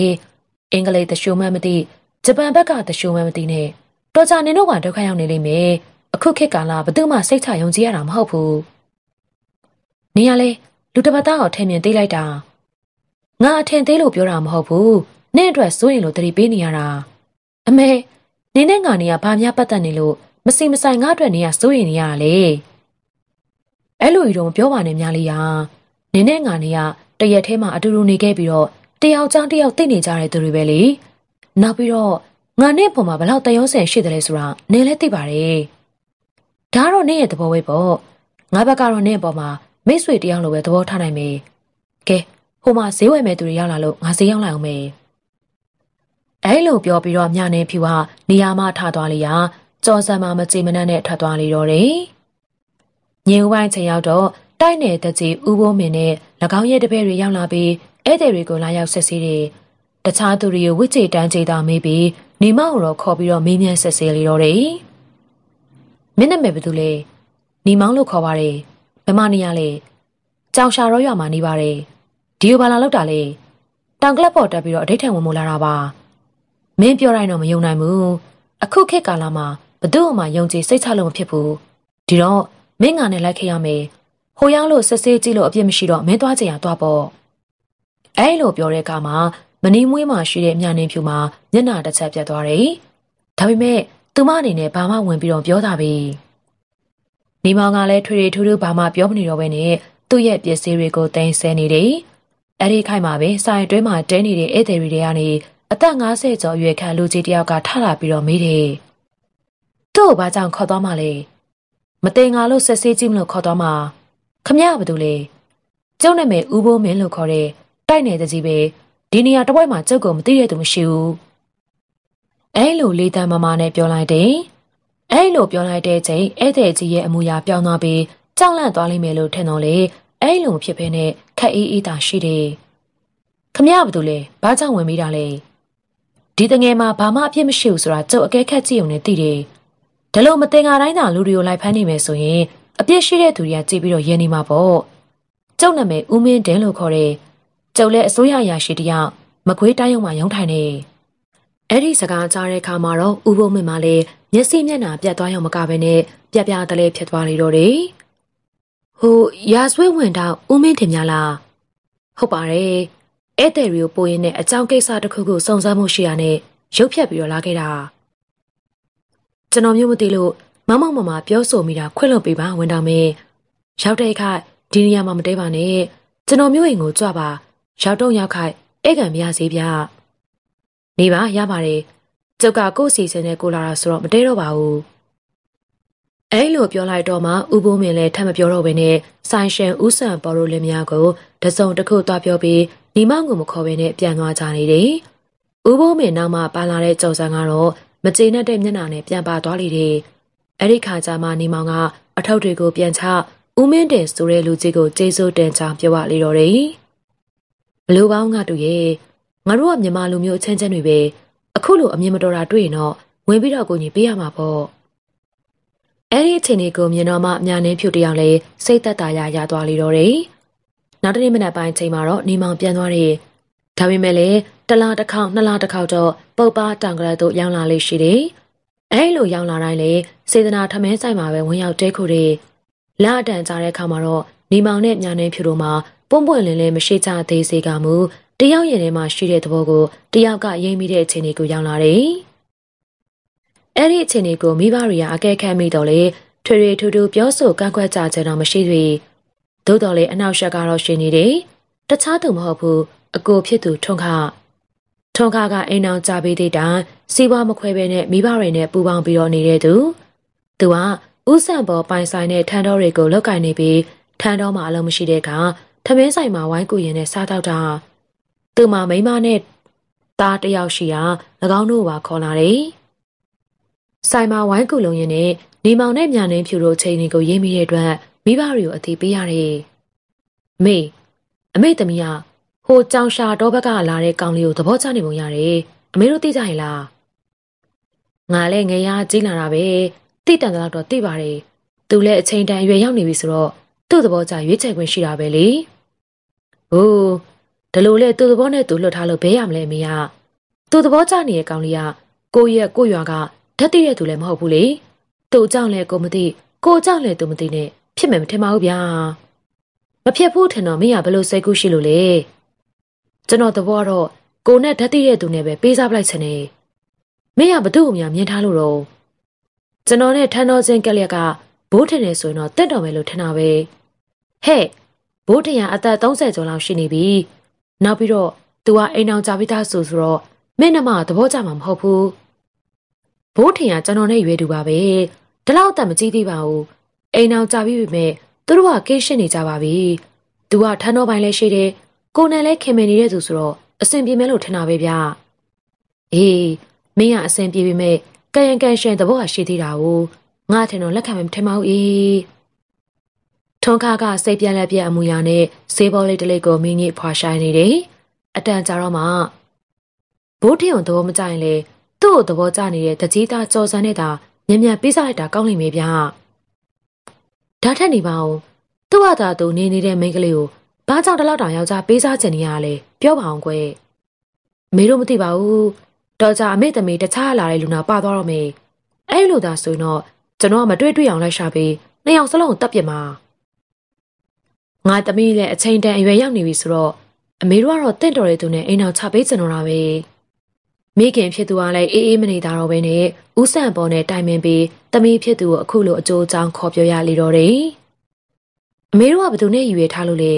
။နင်းကိုရဲ့တငယ်ချင်းဘိုးထင်နေဆိုရင်အဆင်ပြေမယ်ထင်တာပဲ။မယူချမောင်းမေရဲ့ကျမရုပ်ရည်နဲ့တခုလက်တယောက်တော့မြူပြစေနဲ့။ အဲ့လိုဆိုရင်လေမောင်ကျော်စံလေးနဲ့ဆိုရင်ရောအဆင်ပြေနိုင်မလား။မဖြစ်နိုင်ပါဘူးမေရဲ့မိဘလှုပ်ရှားထိုင်စားပြီးဘာလို့မှလက်ကြောတရအောင်မလုပ်ချင်တဲ့သူမျိုးလေမလို့ချင်ဘူးငါတို့ကတော့တင့်တော်မယ်ထင်တာတွေပြောပြနေတာဒါမှသဘောမကျဘူးဆိုရင်တော့ညီသဘောကျတဲ့သူကရှိနေလို့လားအခုချိန်ထိတော့ကျမမှချစ်သူမရှိသေးပါဘူးမေဒါဆိုဟိုကောင်လေးနဲ့ချိန်ရအောင်ဘလို့လဲဘယ်ကောင်လေးလဲမေရဲ့ ကြောင်ရှာတော့လာတဲ့ညီမအောင်ပြောတာ။အော်သူနဲ့ကရိုးရိုးခင်တာပါမေရဲ့။အဲ့လိုဆိုရင်လည်းပြီးတာပဲ။ငါတို့ကတော့တက်တော်တဲ့သူတွေ့အိမ်အောင်ချပေးစနေပြီ။မိခင်ဖြစ်သူကဖွင့်မေးလာတဲ့အချိန်မှာအမှန်အတိုင်းပင်ပြောလိုက်ရတော့လေသူတို့နှစ်ယောက်ရဲ့အတွင်တဘောတော့သိနေကြပြီဖြစ်လေတယ်။နောက်ပိုင်းလာတွေမှာနေမောင်ကတလားတစ်ခေါက်နှစ်လားတစ်ခေါက်ရောက်လာတယ်။ရောက်လာတိုင်းလည်းညနေဖြူတို့ထမင်းဆိုင်မှာပဲတဲတယ်။ ပြီးပြီဆိုရင်တော့တောင်ကလပ်ပေါ်တက်အဋိဌံဝင်ကျတောင်ကြီးတစ်ဝိုက်ကိုလှည့်တစုံတယောက်ကိုလိုက်လံရှာဖွေတတ်တယ်။ကိုနီမောင်ဒီကိုရောက်တိုင်းတရားရောက်ကိုရှာနေတယ်လို့ပဲနော်။ဘသူ့ကိုတွေ့ချင်လို့လဲ။အခုထိတော့မရောက်လာသေးပါဘူးလေဘသူလဲရင်ကျွန်တော်လည်းတခါမှမြင်ဘူးသေးတော့ဘယ်သူမှမသိရဘူးအဲ့ဒီစကားကြောင့်မြနှင်းဖြူအံ့ဩသွားမိတယ်နောက်တစ်ခါရောက်လာတဲ့အခါမှာနေမောင်ကသူ့ရဲ့သဘောထားကိုဖွင့်ပြောလာတယ် ကျွန်တော်အမှန်တိုင်းဖွင့်ပြောရမယ်ဆိုရင်ညာနှင်းဖြူပေါ်မှာစိတ်ဝင်စားနေတယ်ဗျမေတ္တာလည်းရှိနေတာကျွန်တော်ရဲ့မေတ္တာကိုလက်ခံပေးပါနော်ကျမလည်းကိုနီမရဲ့မေတ္တာကိုလက်ခံပေးနိုင်ပါတယ်တင့်တော်တဲ့ချိန်မှာမိဘတွေစီမှာလာရောက်ပြီးတော့တောင်းရမ်းယူပါဒီစကားကြားတာဝမ်းသာလိုက်တာများဗျာဒါလို့ဆိုရင်လေကျွန်တော်မိဘတွေကိုအသိပေးပြီးတော့စိတ်ဆက်ကြောင်းလန့်မှုစီစဉ်မှမယ်ဗျအဲ့လိုပြောဆိုပြီးတော့ပြန်သွားလေတော့တယ်အဲ့ဒီခါမြနေဖြူကမိဘတွေကိုအသိပေးလျာ ထွေထွေထူးထူးတော့မပြောကြတော့ဘူးအကိုဖြစ်သူထုံးခါတာမကြင်မနဲ့ဖြစ်နေတာဒါပေမဲ့မိဘတွေကိုယ်တိုင်ကသဘောတူတဲ့အတွက်သူလည်းဘာမှပြောတာတော့ဘူးအန်တကြိတ်ကြိတ်နဲ့တာအချိန်နေကြည့်ရတယ်အဲ့ဒီတရင်ကြားတဲ့အခါမှာအပြစ်တဲ့စကားဆိုတယ်ညာနေဖြူကတခြားလူတယောက်နဲ့ယူတော့မယ်ဆိုမင်းပြောတော့တမျိုးပါလားမင်းပြောရင်အလုံးပြီးတယ်ဆိုသူမမကြိုက်တာကွာငါဘယ်တက်နိုင်မှာမလဲဘာထင်ရဒါဖြင့်ငါဆရာယူထားတဲ့ငွေတွေကိုပြန်ဆက်ဖို့သာပြင်ပြီးတော့ ငါသူနဲ့အဆင်ပြေနေတာမင်းအပေါ်မှာရှိနေတဲ့အကျွေးတွေကိုရှော့ပေးမှာကွာမဟုတ်ရင်တော့အားလုံးကိုပြန်တောင်းရမှာပဲအဲလိုအကြက်ကင်တဲ့အခါထွန်ခါမှာအကြက်ရိုက်သွားလေတော့တယ်နှမဖြစ်သူနဲ့အဆင်ပြေအောင်ကူညီပေးမယ်လို့ပြောပြီးတော့ဘားထန်ထန်ကယူသုံးထားတဲ့ငွေရမနေဘူးဖေးဝိုင်းမှာဖဲရှုံတိုင်းဘားထန်ထန်မှငွေချေးယူနေပြီဟာအတော့များနေပြီညာနှင်းဖြူရှိနေသေးသေးတော့ဘားထန်ကအကျွေးမတောင်းမီတကယ်လို့အဆင်ပြေသွားရင်တော့အဲ့ဒီအကျွေးတွေကိုရှော့ပေးမယ်လို့ပြောထားတာ အခုညာနှင်းဖြူကသူနဲ့တဲ့တဲ့တဲ့ကိုယူတော့မယ်ဆိုတဲ့သတင်းထွက်တဲ့အခါဘားထန်ကအကျွေးပြန်တောင်းနေပြီလေယူထားတဲ့အကျွေးကမနေဘူးသူ့မှာလည်းဆက်စရာတပြားမှမရှိဒီဒီချိန်တော့ထုံခါတယောက်အတော်လေးအခက်တွေ့ခဲ့ရပြီပေါ့ငါသဘောနဲ့ပြီးတာမှမဟုတ်တာအဖေမေတို့သဘောကလည်းရှိသေးတယ်ကွာငါနမမင်းုံမယူလေမင်းုံပေးစရာရှိတဲ့ကြွေးတွေတော့ငါပြန်ဆက်မှာပါကွာ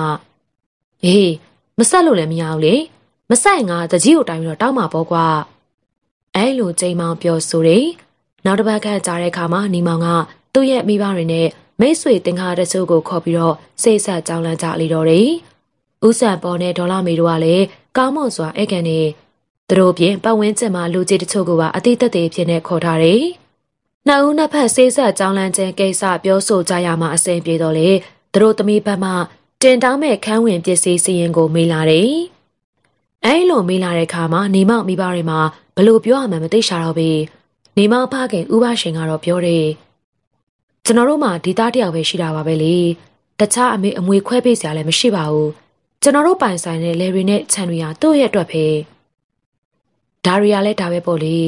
လောလောဆယ်မင်းကလေးအတွက်ငွေသားဘလောက်လက်ဝက်လက်စားဘာတွေပေးပြီးတော့ဘလူတွေတင်တောင်းမယ်ဆိုတာပြောမှာပေါ့ အဲလိုပြောတဲ့အခါနေမောင်မိဘတွေမှာမျက်စိမျက်နှာပြတ်သွားတယ်နေမောင်မှလည်းမမျော်လင့်တဲ့အချိန်တွေကြောင့်စိတ်ပူနေရပြီနေမောင်ရဲ့မိခင်တော်ကျမီကဒါလို့ဆိုမှတော့ကျမတို့ဘက်ကငွေသား9000နဲ့ရွှေလက်ဝဲရတနာ30တာမင်းကလေးအတွက်တင်နှောင်းပေးပါမယ်ရှင်။အဲ့ဒီကမနီမွေးမှာရှိတဲ့ထွန်ခါကဝင်ပြောတယ်။ဒါတော့မဖြစ်နိုင်ပါဘူး။ကျုံညမကိုရမယ်ဆိုရင်ငွေရောရွှေပါဒီထက်မကတင်တောင်းမဲ့သူတွေအများကြီးရှိတယ်။ အဖေမေတို့ကအားနာလို့မပြောပြီးမြဲကျုပ်ကတော့အကိုကြီးတယောက်အနေနဲ့ပုံမှန်လင်းလင်းပြောရမှာပဲ။ကျုံညမအတွက်ငွေတစ်တောင်းနဲ့လက်ဝဲရတနာ90တာတင်တောင်းပေးမှလက်ခံနိုင်မယ်။အဲ့ဒီစကားကြားတဲ့အခါအားလုံးမျက်လုံးပြိုသွားကြလေတော့တယ်။ထွန်းခါကမမျော်လင့်မဲနဲ့ဝင်ပြောလိုက်တဲ့အတွက်ဥဆန်ပေါ်လို့လေဘာပြောရမှမသိအောင်ဖြစ်သွားတယ်။အေးဗျာစိတ်မကောင်းပါဘူး။မင်းကလေးဘက်ကတောင်းဆိုသလောက်ကျွန်တော်တို့ဘက်ကမတက်နိုင်ကြပါဘူး။အဲ့ဒါကြောင့် စိတ်ဆက်ကြောင်းလန့်ခြင်းကိုပြန်ပြီးတော့ရုပ်သိမ်းပါတယ်။အဲလိုပြောဆိုပြီးတော့ပြန်သွားကြလေတော့တယ်။ညာနေဖြူခမရမှာတော့မမျော်လင့်တဲ့အချိန်လေးကြောင့်စိတ်ဆက်ပွဲပြတ်သွားတဲ့အတွက်အဆက်ရတဲ့အပြင်စိတ်ထိခိုက်မှုလည်းများစွာဖြစ်သွားလေတော့တယ်။အဲ့ဒီအချိန်ကြီးကပင်သူမဘဝကိုပြောင်းလဲသွားစေတော့တယ်။အဲလိုစိတ်ဆက်ပွဲပြတ်သွားခဲ့ပြီးတဲ့နောက်မှာနေမောင်တရားစေတနာထမင်းဆိုင်ကိုမလာတော့ဘူး။အဲ့ဒီဆိုင်ကိုမရောက်ဖြစ်တော့တော့လေတောင်ကလပ်ကိုလာမယ့်အချိန်ရောက်ရင်တော့လာတယ်။ အရင်ကလိုစေတနာထမင်းဆိုင်မှာမတဲတော့ဘဲနဲ့ဆရာတော်ဦးကောသလကျောင်းမှာခွင့်တောင်းပြီးတော့တဲခေါ်လေးတယ်။အဲ့ဒီကျောင်းမှာကပ္ပိယလုပ်နေတဲ့ဥပန်ကောင်ကသူ့ကိုမြင်လင်းမြင်ချင်းခင်မင်းတဲ့အတွက်သူ့ရဲ့အခန်းမှာပဲတဲခိုခွင့်ပေးတယ်။နေမမှာသူ့ကိစ္စနဲ့သူပုတ်ပါကိုရောက်လာတဲ့အခါမှာမြနှင်းဖြူကိုတရားနေမိတယ်။သူ့ရဲ့စိတ်ထဲမှာမြနှင်းဖြူအပေါ်မှာနားမလည်နိုင်အောင်ဖြစ်မိတယ်။မိဘတွေကိုခေါ်လာခိုင်းပြီးတော့မှတမင်အဆက်ခွဲသလိုဖြစ်နေတယ်။သူ့အတွက်အရှက်ရခဲ့ရတဲ့မိဘတွေအတွက် စိတ်မကောင်းဖြစ်မိတာပေါ့အစတွေကကိုယ့်ရဲ့မြတ်တောင်လက်မခံချင်လို့ညင်းချင်လဲညင်းလို့ရပါရဲ့နဲ့မိဘတွေခေါ်လာခိုင်းပြီးတော့မှဒီလိုလုံးရက်တယ်ကွာကိုဘလို့နားလည်ရမလဲညာနေဖြူရဲ့နေမောင်အဲ့လိုသားရေရွတ်နေမိတော့တယ်ဒါပေမဲ့လေသူလုံးရမယ့်အလုပ်တွေကိုတော့အပြတ်မခံဘူးတောင်ကလပ်ပေါ်ရောက်တာနဲ့တောင်ထိပ်ပေါ်ရောက်အောင်သွားပြီးတော့အထိတ်ထန်ဝင်နေတောင်အောင်ပြန်ရောက်ရင်လေလွန်ခဲ့တဲ့၃နှစ်ခက်ကတောင်ကလပ်မှာမထဲမဖဲတွေ့ရတဲ့အဖိုးကြီးတယောက်ပြောသွားတဲ့အတိုင်း လူဒူးဆန်တယောက်ကိုတွေ့ရလေနုံနုံနဲ့လိုက်လံရှာဖွေကြလေတယ်အဲ့ဒီအဖိုးကြီးကသူနဲ့တွေ့စဉ်ကတနေ့ကျရင်တောင်ကလပ်ကိုလူဒူးဆန်တယောက်ရောက်လာလိမ့်မယ်မင်းသူနဲ့တွေ့အောင်သာစောင့်ပြီးတော့သူနဲ့တွေ့ရင်မင်းအတွက်အကျိုးကျေးဇူးတွေအများကြီးရလိမ့်မယ်အဲ့လိုပြောသွားဘူးလေအဲ့လိုပြောသွားသေးမှသုံးနှစ်တောင်ကြော်ခဲ့ပြီဒါပေမဲ့ညီမောင်ကမဲလို့မရဘူးဒီနေ့တော့ဥပန်ကောင်ကမေးတယ်မင်းဒီကိုရောက်တိုင်းမှာတရားရောက်ကိုလိုက်ရှာနေတယ်မဟုတ်လား ဘသူ့ကိုလိုက်ရှာနေရလဲညီမောင်ကလည်းသူရှာနေတဲ့သူရဲ့အကြောင်းကိုပြောပြလိုက်လေတော့တယ်အေးဒီလိုဆိုရင်တော့လေဆောင်းလက်စနဲ့ဆက်တာဆောင်းပြီးတော့ဟေ့မင်းအတွက်အကျိုးမရောက်ဘူးသူနဲ့မတွေ့ရင်တော့မှဒီမှာအတိတ်ထံဝင်ဖြစ်တော့ကို့အတွက်အကျိုးရှိတာပေါ့ကွာအဲလိုအားပေးတယ်နောက်တစ်ခါရောက်တဲ့အခါမှာတော့ဆရာတော်ဦးကောသလကိုဖူးတွေ့ခွင့်ရတယ်အရင်အခါတရဆရာတော်ကသူ့လုံးနဲ့သူ့မှုတွေ့ခွင့်မရပြီဆရာတော်ဦးကောသလမှာ ထွက်ရပေါက်လန်းစင်ကိုစ조사ဆောင်ရွက်နေတဲ့ပုဂ္ဂိုလ်တဦးဖြစ်ပြီးအတော်အသင့်ခရီးပေါက်နေပြီဆရာတော်နဲ့တွေ့တဲ့အခါဆရာတော်ကမေးတယ်မင်းဒီကိုအကြောင်းနှမျိုးနဲ့လာနေတာမဟုတ်လားမှန်ပါတယ်ဖေဟာကိုလို့ရမယ့်အဋိဌံဝင်တဲ့အလုပ်ကိုတော့မှန်မှန်သားလုပ်ပေါ့မင်းတွေးချင်တဲ့ပုံကိုလည်းမကြခင်ရောက်လာတော့မယ်မင်းကိုရွှေညောင်တာဝါကစောင့်လင့်ကြပြီတော့ဆရာတော်မိန်တဲ့အတိုင်းရွှေညောင်တာဝဆိုသောစကားကိုတော့သူနားမလဲချင်ဒါပေမဲ့ အဲ့ဒီစကားကိုကြားတဲ့အခါမှာစိတ်ထဲမှာအားရှိတယ်လို့တော့သူခံစားလာရတယ်ဒီနေ့မှာတောင်ကလပ်ပေါ်မှာအဋိဌံဝင်ပြီးရဲ့နောက်ပြန်ဆင်းလာရာကျောင်းကိုရောက်တဲ့အခါဥပန်ကောင်ကသူ့ကိုစားတစ်ဆောင်ထုတ်ပေးတယ်ဘသူစားလဲကပ်ပြရည်ကောင်မလေးတယောက်ကမင်းကိုပေးဖို့ဆိုပြီးတော့လာပေးသွားတာမိမောင်ကဆော်ရွက်ခောက်လေးကိုဖြန့်ပြီးတော့ဖတ်လိုက်တယ်ကိုမောင်ဒီကနေ့ညလူချိန်တိတ်ချိန်မှာကျမတို့ရင်အနောက်ကညောင်ပင်ကြီးအောက်ကိုလာခဲ့ပါညာလေး အဲ့ဒီဆောင်ရတဲ့အခါမှာစိတ်ထဲမှာဝမ်းသာတယ်လို့လှုပ်ရှားမှုလည်းဖြစ်မိတယ်။อืมသူ့ရဲ့မိဘဆွေမျိုးတွေကြောင့်သာငါတို့နှစ်ယောက်မနေဆက်ကြရပေမဲ့ညာလေးကငါ့ပေါ်မှာတော့အခုချိန်ထိတန်ရုံးစင်ရှိနေသေးဟံပဲ။အဲ့လိုလဲတွေးလာမိတယ်။အဲ့ဒီညနေရောက်တဲ့အခါမှာသူမချိန်ထားတဲ့အတိုင်းအိမ်နောက်ဘက်မှာရှိတဲ့ညောင်မင်းကြီးအောက်ကိုသွားရအသင်းဆောက်နေတဲ့မြာနေဖြိုတွေ့ရတယ်။မြာလေးမဟုတ်လား။ဟုတ်ပါတယ်ကိုမောင်။ ကို့စာရေးမှာဘလို့အကြောင်းများအရေးကြီးလို့လဲ။ကိုမောင်တောင်းမှန်ချင်လို့ပါ။ဟိုတလောကဖြစ်တဲ့ကိစ္စတွေဟာကျမသဘောပါလို့ဖြစ်ရတာမဟုတ်ပါဘူးကိုမောင်။အကိုကဝင်ပြီးတော့နှောက်ယှက်လို့ပြက်ခဲ့ရတာ။ပြီးတော့မှအဖေနဲ့အမေတို့လည်းစိတ်မကောင်းဖြစ်နေကြတယ်ကိုမောင်ရဲ့။ကိုသဘောပေါက်ပါတယ်။ညာလေးတို့မိသားစုပေါ်မှာကိုဘလို့မှသဘောမထားပါဘူးခွင့်လွတ်ပါတယ်ဒီစကားကြတော့ဝမ်းသာလိုက်တာကိုမောင်ရဲ့တတ်တတ်ကျမမေးစရာတခုရှိတယ်อืมမေးလေ အရင်ကလို့ကျမအပေါ်မှာမေတ္တာရှိသေးရဲ့လားယင်ကိုမောင်ကိုမြလေးပေါ်မှာထားတဲ့မေတ္တာအပြောင်းလဲများတဲ့မေတ္တာမျိုးမဟုတ်ပါဘူးမြလေးအခုလို့ဖြစ်ရတာလေမြလေးမှာအပြစ်မရှိဘူးမြလေးကိုအရင်ကချက်တယ်လို့အခုလဲချက်နေစေတကယ်လို့ကိုရိုနီယာမစုံကြရင်တော့မှညာလေးပေါ်မှာထားတဲ့ကိုရဲ့မြတ်တာပြက်ပြဲသွားမှာမဟုတ်ပါဘူးညာလေးရဲ့အဲလိုပြောလိုက်တဲ့အခါမှာတော့ညာနေဖြူထမ်းမှရှိုက်တန်ကထွက်ပေါ်လာလေတယ် အဲဒါကြောင့်နီမောင်ကအနားကိုတိုးသွားပြီးသူမပခုံးကိုဖတ်ပြီးတော့နှစ်သိမ့်မှုပေးရတယ်ဒါတော့လဲဝမ်းမနေနေပါနဲ့ကွယ်ကိုရိုနီယာဖူးစာပဲမှန်တော့စုံစည်းခွင့်ရကြမှာပေါ့ကိုမောင်ကျမကိုကိုမောင်တကယ်ချစ်တယ်ဆိုရင်လေအခုတခါတည်းခေါ်သွားပေးပါလားယင်ကိုမောင်နော်ကိုမြလေးရဲ့ချစ်ကိုယုံပါတယ်မြလေးဒီလိုလုပ်ရင်မြလေးမိဘတွေအရှက်ရကြမှာပေါ့နောက်ပြီးတော့ကိုကလည်းဒီနေရာကိုမဖြစ်မနေလာမယ့်ကိစ္စရှိနေသေးတော့ ဒီလိုလုံးလုံးဖြစ်သေးပါအောင်မြလေးရဲ့ကျမလေးကိုမောင်နဲ့ဝေးရမှာတိတ်ပြီးတော့စိုးရင်တာပဲကိုမောင်ရဲ့ဒီလောက်လည်းမစိုးရင်ပါနဲ့ကွယ်ကိုရိုနီယောက်တယောက်နဲ့တယောက်သစ္စာရှိနေသေးသေးမဝေးနိုင်ပါဘူးတကယ်လို့မြလေးမှာမတိုးတာမရှောင်တာအခက်ခဲနဲ့တွေ့ရင်တော့ကိုမြလေးကိုခေါ်သွားပေးပါမယ်လို့ကြိပေးပါတယ်ဒီစကားကြားတော့ဝမ်းသာလိုက်တာကိုမောင်ရဲ့အဲလိုပြောပြီးတော့နေမောင်ရင်ခွင်ထဲကိုမှီဝင်လာရာနေမောင်ကလည်း ချစ်သူကိုလေးကိုအလိုက်တဲ့ထွေဖက်ထားလိုက်တယ်အဲ့ဒီခိုက်တန်လေးမှာတော့သူတို့နှစ်ယောက်အတွက်တောကတွေမေးပြောင်နေပြီးချမ်းမြေလျက်ရှိကြတာပေါ့နောက်ထပ်လာနေငယ်ကြတဲ့ကရွှေကူချောင်းတော်ရမှာတရင်သုံးနေတဲ့ဆရာတော်ဥကောတလမှာထွက်ရက်လန်းသို့ကြွားမြန်သွားလေတော့တယ်၎င်းမထွက်မီချိန်မှာတပည့်တွေတကားတကမတွေကိုခေါ်ပြောသွားတယ်မကြခင်မှာဒီပုတ်ပါတောင်ကလပ်ကိုလူဒူးလူဆန်းတယောက်ရောက်လာလိမ့်မယ် မင်းတို့တွေရွှေညောင်တာဝါကစောင့်လန့်ကြပြီးတော့အဲ့လိုမှကြားခဲ့ပြီးတော့မှထွက်ရက်စခန်းတို့ကြွားမြန်သွားလေတော့တယ်တောင်ကလပ်ပတ်ဝန်းကျင်မှာနေထိုင်ကြတဲ့သူတွေမှလည်းဆရာတော်မှကြားသွားဒီမှာအကြောင်းမဲ့မဟုတ်မှန်တော့သိကြတယ်အဲ့ဒါကြောင့်ထူထူဆန်းဆန်းရောက်လာမယ်ဆိုတော့အဲ့ဒီပုံကိုကိုစောင့်မျှော်လျက်ရှိကြပြီးတော့တယ်အဲ့ဒီအထဲမှာနီမောင်တယောက်လည်းပါဝင်တာပေါ့နီမောင်ခမရမှာလည်းစီးပွားရေးအလုပ်တွေကိုလုပ်ရသေးပင်စိတ်ကမဖြောင့်ချင်တော့ဘူးသူမရှိတဲ့က အဲ့ဒီပုဂ္ဂိုလ်ရောက်လာပါကမတွေးလိုက်မမြင်လိုက်ရမှအောင်စိုးရင်နေတာအဲ့ဒါကြောင့်အလုပ်ကိစ္စပြီးတာနဲ့တောင်ကလပ်ကိုအရောက်လာတဲ့မလာလို့လည်းမဖြစ်လေညာနှင်းဖြူနေလဲမကြခဏချင်းတွေ့နေရတဲ့အတွက်သူ့အတွက်အရေးကြီးတဲ့အလုပ်တောင်ဝင်ကြီးနှမျိုးကိုတပြိုင်နက်တည်းထမ်းဆောင်နေတကယ်တော့ဖြစ်နေတော့တယ်။တနေ့တော့ကပ္ပိယကြီးဥပန်ကောင်းကပြောတယ်။ဆရာတော်ပြောသွားတဲ့လူထူးလူတန်းဆိုတာ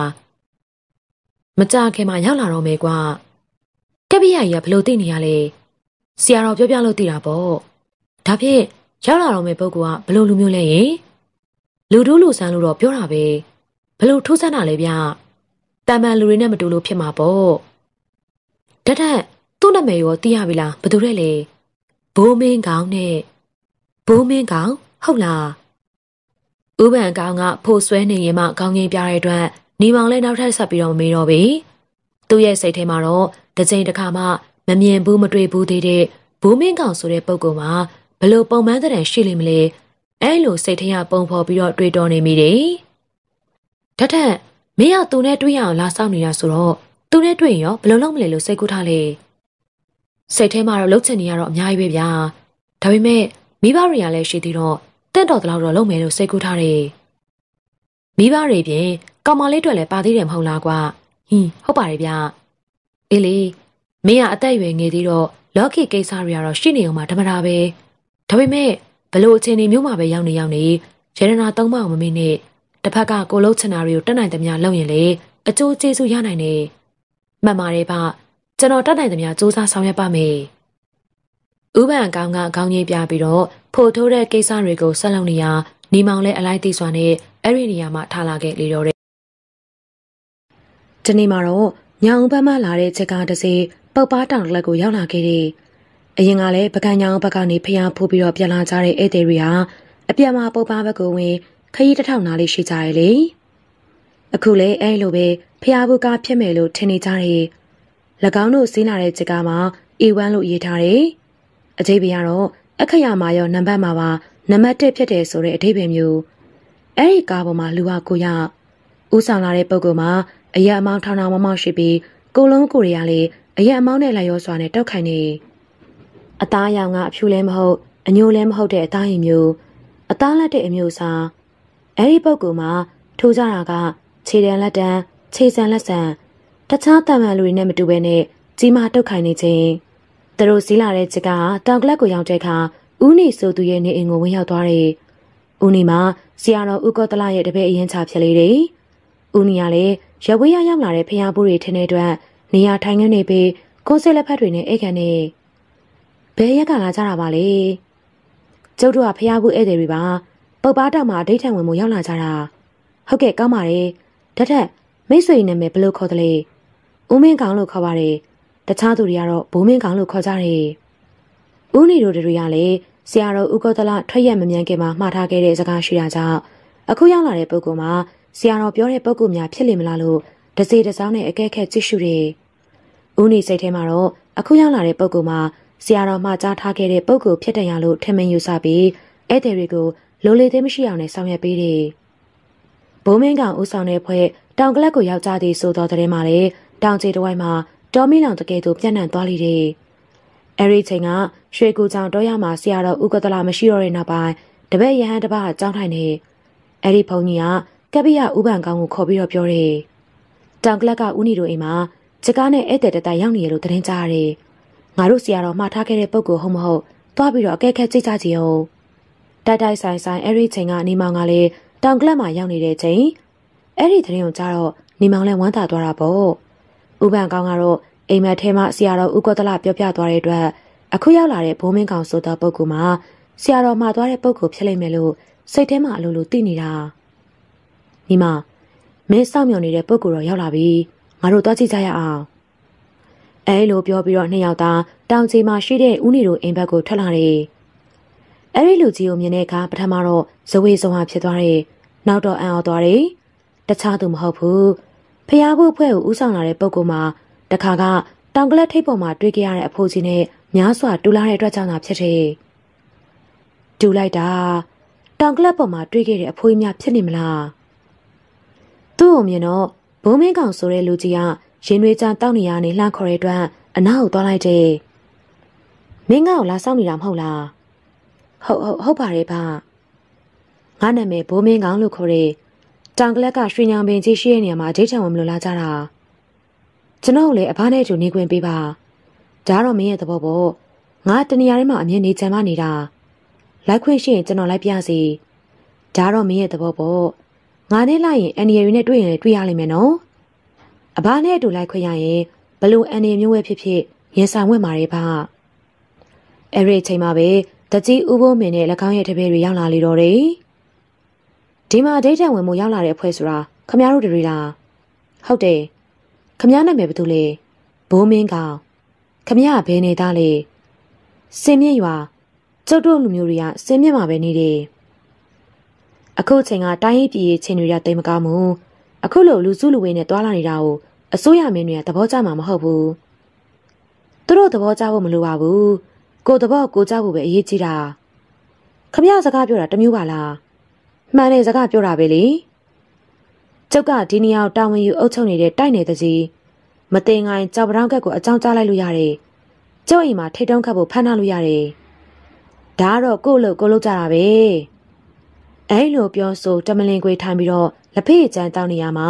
ဥပိုးမင်းလည်းမကြည်မနှက်နဲ့ပြန်သွားတယ်။မိမောက်စိတ်ထဲမှာတော့တကြီးဥပိုးမင်းမှာတနေ့ကျရင်လာရောက်ဒုက္ခပေးမယ်လို့ထင်နေပြီးတော့တယ်။ညနေပိုင်းကိုရောက်တော့ဦးနီတို့မိသားစုတွေကဧည့်သည်တွေအတွက်အစားအသောက်တွေပြင်ဆင်ကျွေးမွေးတဲ့အခါမှာတော့ထူးထူးခြားခြားစကားပြောလာတယ်။ခမရတို့က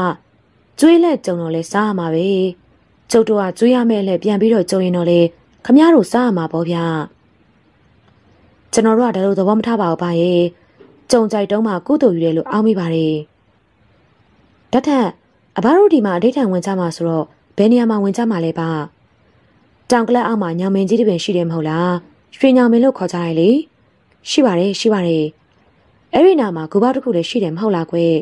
ဟုတ်ကဲ့ရှိပါတယ်အဲ့ဒီနေရာဆိုရင်အဆင်ပြေမှာပေါ့ရွှေညောင်တောင်ဝဆိုတာဒီနေရာဖြစ်မှာပေါ့ အဲ့ဒီစကားကြတော့မှဦးနီတို့တွေလည်းအပြေရှင်းသွားကြလေတော့တယ်ထို့တူမနီမွေးမှာရှိကြတဲ့နေမောင်နဲ့ဥပန်ကောင်းတို့လည်းအဲ့ဒီစကားကိုကြားတော့မှပဲဆရာတော်ကြီးဦးကောတလာမှာကြားသွားတဲ့စကားအထိပ်ပဲကိုသဘောပေါက်ကြလေတော့တယ်ဘုံမင်းကောင်းတို့က၎င်းစိလာတဲ့ကြက်ကားကြီးကိုဦးနေတို့အိမ်ရှင်းမှာပဲထိုးထားပြီးတော့တောင်ကလတ်အချိန်မှာရှိတဲ့ညောင်မင်းကြီးစီကိုထွက်သွားကြလေတော့တယ်။အဲဒီနေရာရောက်ပြီးတော့နေရာထိုင်ခင်းတွေပြင်ဆင်ပြီးတဲ့အခါ တယောက်တညစီနေရာယူပြီးပရိစိတ်နေကြလေတော့တယ်။ဘုံမင်းကောင်ကတော့၎င်းမှပါလာတဲ့လွယ်အဟောင်းကြီးအတွင်းကနေဗုဒ္ဓရုပ်ပွားတော်တဆူကိုထုတ်လိုက်တဲ့ဒခိနာတာခါရုပ်ပွားတော်ဖြစ်ပြီးကိုလမခန့်ညံတော်မြင်နေရုပ်ပွားတော်တဆူလုံးရွှေချထားတဲ့အတွက်ဝင်းနေတာဘုံမင်းကောင်ကအဲ့ဒီရုပ်ပွားတော်ကိုကြောက်တုံးမြင့်ပေါ်မှာတင်ထားလိုက်ပြီးတော့အသက်ယူလာတဲ့ဖျောင်းတိုင်းအမွှေးတိုင်းဒါတွေကိုမင်းညစ်ပူဇော်ပြီးတဲ့နောက်လွယ်ထဲမှာပရိကြီးကိုထုတ်ငိမ့်သက်စွာနဲ့ပရိစိတ်နေတော့တယ်။ အဲ့ဒီချိန်မှာကိုတွင်းမှာမြေသေးတံမှမကြတော့ဘဲနဲ့တိတ်ဆိတ်ငိမ့်သက်သွားလိတော့တယ်။ဦးမင်းကောင်သို့မဟုတ်ဘိုးမင်းကောင်အကြောင်းကိုဖော်ပြပေးရပေဦးမေ။ဘိုးမင်းကောင်အောင်မင်းကောင်စတဲ့အမည်တွေနဲ့ဝိဇ္ဇာလောကမှာထင်ရှားတဲ့ပုဂ္ဂိုလ်ကြီးရဲ့အကြောင်းတွေကတော့မန္တလေးတိုင်းဒေသကြီးငင်းချန်ခရိုင်ကြောက်ပတောင်မြို့နယ်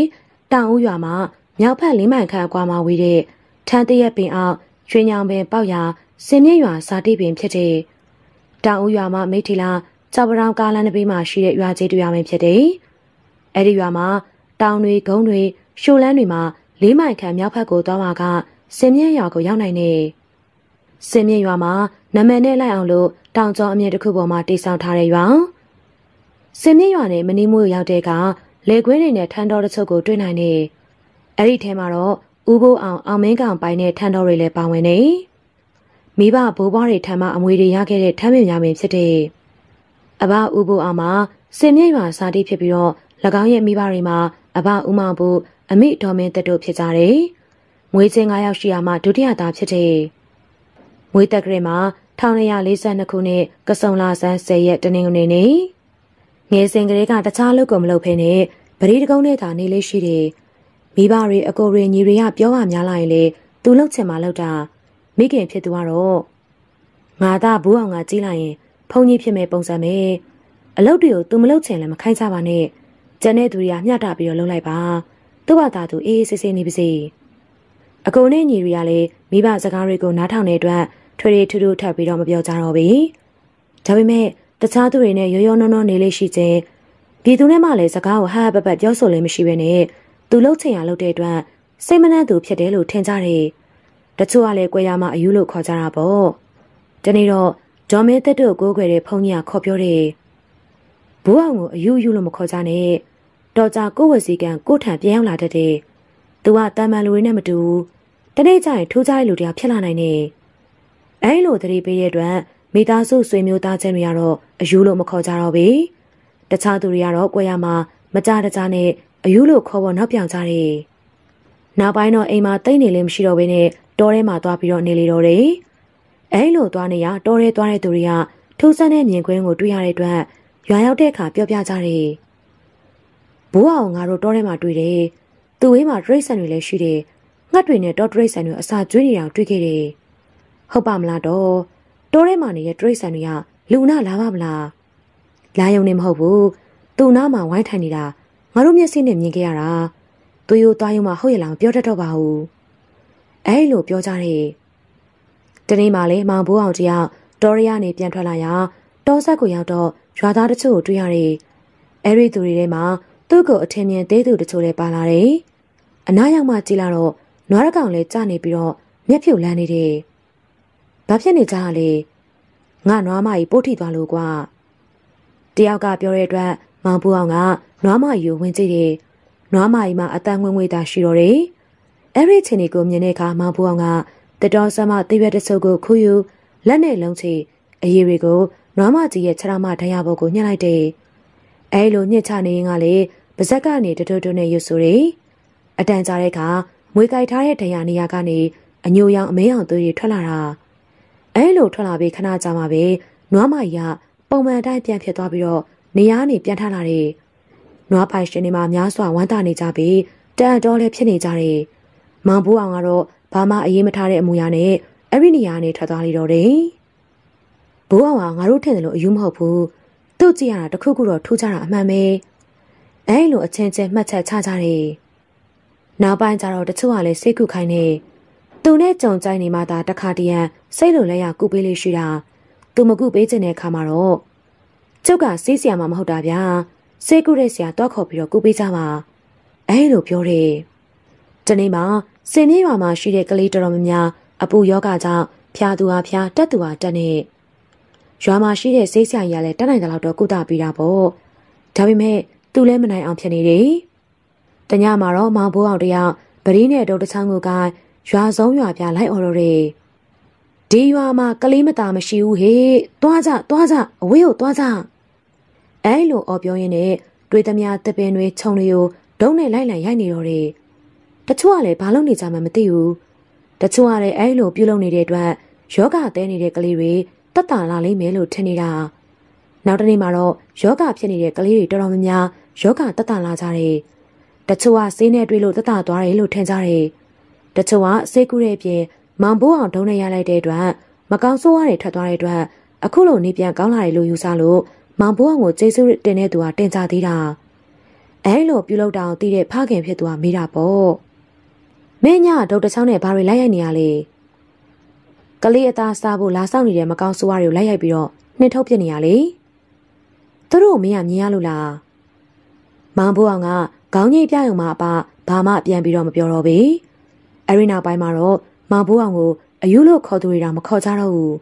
ဒီနေ့မှာတော့မောင်ဘိုးဆောင်ကတော်ရင်းမယုံတကောင်ကိုဖမ်းပြီးတော့တက်ယူလာတယ်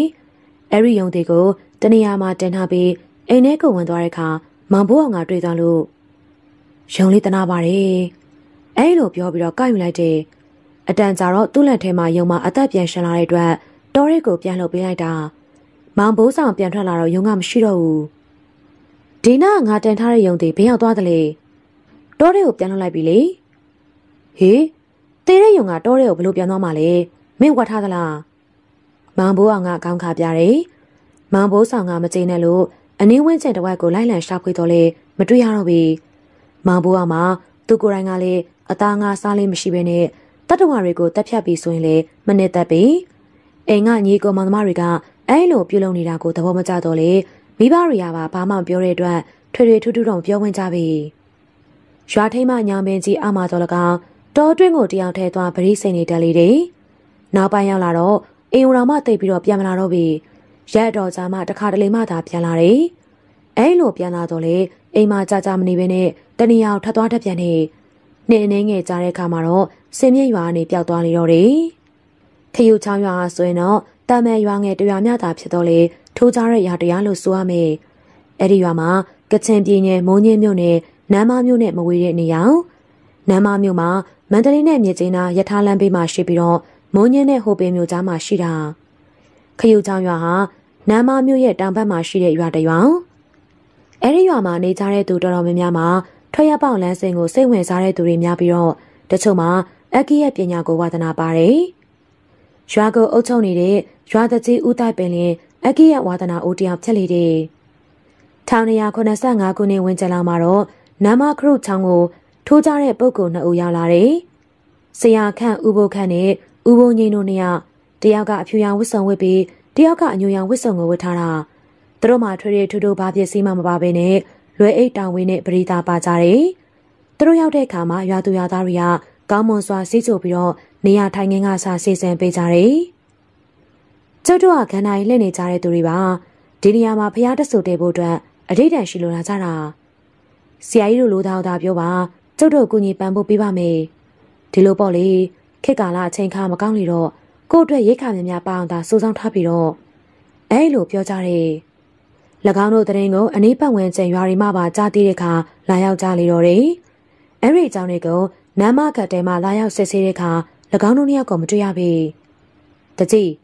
ခမ ्या အုပ်ချုပ်တဲ့ရွာမှာထိုးကြတဲ့လူနှစ်ယောက်ရောက်နေရလို့တင်ကြတယ်။သူတို့တွေ့ကြနေ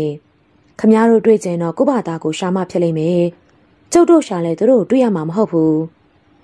ရာဆွေးအုပ်လဲနောက်မှပါလာတဲ့ပလိတ်တွေကိုတအိမ်တဆင်နေရအနံ့လိုက်လံရှာဖွေခိုင်းတော့လေ ဆရာခန်းနဲ့ဦးဘုံငိမ့်တို့ရဲ့အရေးအယောင်တော့မတွေ့ရပြီ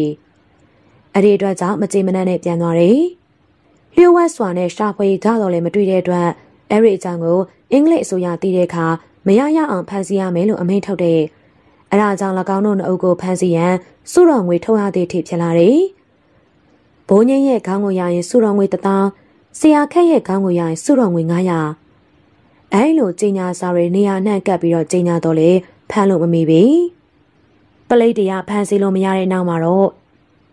ပလိတ်တွေကိုပြန်လွှတ်လိုက်တယ်။အဲဒီနောက်မှာလူကိုသာမမြင်ရဘဲနဲ့အတန်တွေကိုကြားကြရတယ်။ဟဲ့နေကျဲမိစ္ဆာရီရဲ့အလိုတော်ကြီးလက်ကင်တုပ်ပလိတ်ဆုပ်တွေငါတို့ကိုလိုချင်တာနဲ့အပြစ်မရှိတဲ့ရွာသားတွေကိုမနှိပ်စက်ကြနဲ့မင်းတို့အမေလင်ငငိမ့်ကဒီမှာကွာမင်းတို့စွဲရင်တော့လာဖမ်းလိုက်ကြအတန်သာကြားရပြီးတော့လူမမြင်ရတဲ့အတွက်ပလိတ်တွေမှာကြောက်လန့်ပြီးတော့ထွက်ပြေးကြရလေတော့တယ်။ နောက်ပိုင်းမှာတော့သူတို့နှစ်ယောက်ပြင်အဲ့ဒီရွာမှာအမေဆုံးအမေမန်တို့နှစ်ယောက်နဲ့လေးယောက်ပေါင်းပြီးရွာနေတဝိုက်မှာဖျားတဆူတရံပြင်ကြတယ်။မကြခင်ကမ္ဘာစစ်ပေးကြီးရောက်လာတော့မယ်။ဒါကြောင့်စစ်ပေးစစ်တမ်းတွေရဲ့ဒုက္ခကို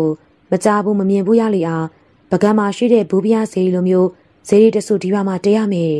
။အဲလိုပြောတဲ့အတွက်ရွာသူရွာသားတွေကလည်းအလွန်ငွေတွေပါဝင်လူတန်းနေ။အဲ့ဒီဈေးလေးကိုတော့ခယူချောင်းနဲ့ခယူချောင်းဖုန်ကြီးချောင်းကြားမှာတိချောက်ကြတယ်။ ဆရာခန့်နဲ့ဦးဘုံငိန်တို့နှစ်ယောက်ခယူချောင်းမှာဖျားတက်နေတဲ့ဆိုတဲ့သတင်းကြားလို့စုံတောင်းတဲ့ပလိတ်တွေရုပ်ဖြတ်ပြီးတော့လာရောက်ကြည့်ရှုကြတော့လေသူတို့ရောက်တာနဲ့သူတို့နှစ်ယောက်ကိုမတွေ့ရတော့ဘူးနောက်တော့လက်လျှော့ပြီးတော့ပြန်သွားတယ်ဖျားတက်နေစဉ်မပြီးပြတ်သေးတဲ့ကိန်းမှာအဲ့ဒီနှစ်ယောက်စလုံးရှေ့ဆန်နောက်ဆန်ကွယ်လွန်သွားကြတယ်ကျုပ်တို့နှစ်ယောက်တော့သွားတော့မယ်ဖျားတော့အပြီးမတတ်နိုင်ခဲ့သေးဘူးဒါပြက်ဘလို့ဆက်လို့ရမလဲစိတ်မပူနဲ့မကြခင်မှာဒီဖျားကိုလက်စားသက်ပြီးအောင်လို့တိတ်ဆောက်ပြီးမြဲ ပုဂ္ဂိုလ်တို့တယောက်ဒီရွာရောက်လာလိမ့်မယ်။သူလာတဲ့ထိတာစောင့်နေကြပါ။အဲလိုမှားကြားထားခဲ့တဲ့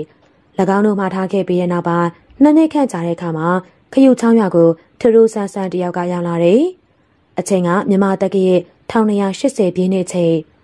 ဒီနေ့မှအဲ့ဒီရွာကိုလွယ်ကြီးတလုံးကိုလွယ်ပရိတကုန်းကိုလဲဘင်းမှာဆွဲတက်လက်ပိုင်းရွယ်လောက်သာရှိသေးတဲ့လူတယောက်ကရောက်လာတာ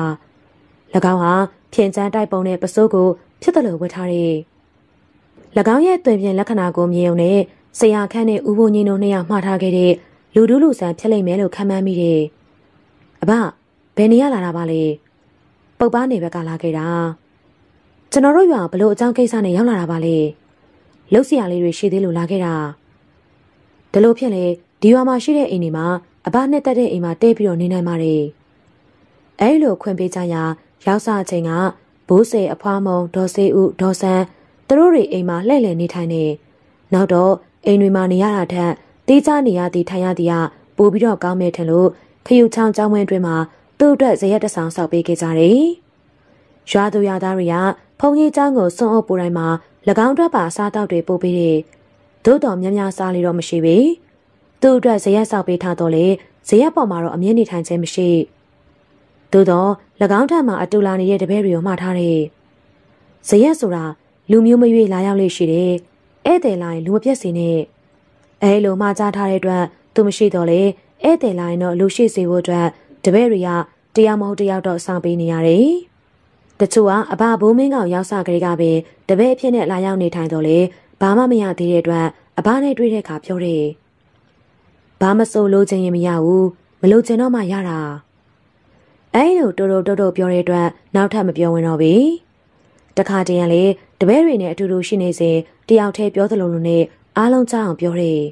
။တခုခုကိုမစွန့်လွတ်ဖဲနေတော့နောက်တစ်ခုမရဘူး။မင်းတို့စီမှာဘာမှမရှိသေးလို့တခြားအရီကိုလိုချင်နေတာတကယ်လို့ကိုယ့်ရဲ့အထင်မှာပြည်သွားပြီဆိုရင်ဘာမှထပ်ထည့်လို့ရမှာမဟုတ်တော့ဘူးအဲ့ဒီချိန်ကျရင်ကိုလိုချင်တာလည်းဘာမှရှိတော့မှာမဟုတ်တော့ဘူးအဲ့လိုကဲသို့စကားပြောတဲ့အခါတချို့ကလည်းနားမလဲကြပြီတချို့လည်းဆိုလိုတဲ့အဓိပ္ပာယ်ကိုနားလဲတယ်လို့လို့ရှင်းကြတယ်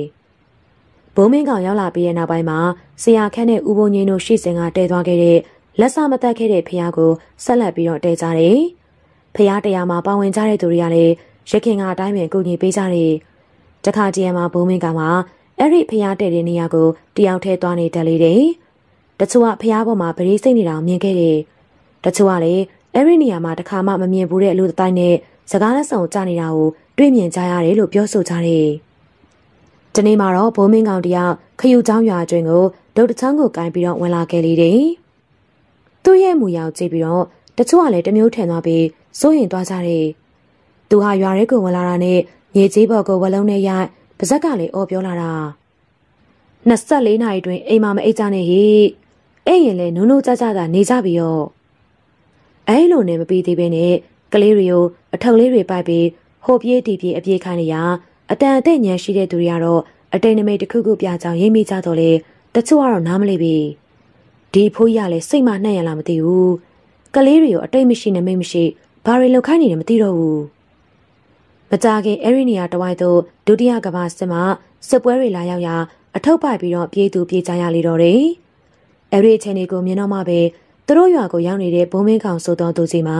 ရခင်ရောက်ခဲ့တဲ့ဆရာခန့်နဲ့ဦးဘုံကြီးတို့လို ကိုပြောင်းနိုင်တဲ့အစွမ်းမျိုးရှိသည်မရှိသည်မသိရတော့လေတာမန်မဟုတ်တဲ့ပုံကူမှန်းတော့ရင်းမိတယ်ခယူချောင်းရွာမှာနောက်ထပ်တယောက်ကလည်းအဖြစ်ပြက်တစ်မျိုးကိုကြုံတွေ့ခဲ့ဘူးသေးတယ်သူကတော့ရွာလူကြီးဦးတိုက်ပင်ဖြစ်တယ်။ဦးတိုက်မှာအညာကထန်ထားတဲ့အတွက်ရွာကလူကြီးလုံနေရတော့လေအကိယဝါဒနာကြီးသူတူဖြစ်တယ်။ဒီနေ့တော့ဘိုးမင်းကောင်ကို၎င်းအိမ်ကိုပင့်ဖိတ်ပြီးတော့မေးလေတယ်။ဦးမင်းကောင်ခမအကိယအကြောင်းတော်လေးကိုနားလေလို့ပြောတန်ကြတယ်။ ကျုပ်ကိုလုံလေးတစ်ခုလောက်ပြောစမ်းပါဗျ။ဘယ်နည်းအခက်ခဲဆုံးလဲ။ကျုပ်တို့ဖွာတော့တက်ကိုဖမ်းတဲ့နေရာအခက်ခဲဆုံးပေါ့ဗျ။ဦးတိုက်ကအဲ့လိုပြောပြီးတော့ဖိုးထိုးတဲ့အခန်းတွင်ကိုခေါ်သွားရာဘိုးမင်းကောင်လည်းလိုက်သွားတယ်။ဖိုးကန်နဲ့ရောက်တဲ့အခါသူ့ကိုဖမ်းပြရုံမကဘဲနဲ့ရွှေပြအောင်မှထိုးပြလိုက်ရာဦးတိုက်မှာများစွာအံ့ဩသွားရုံမက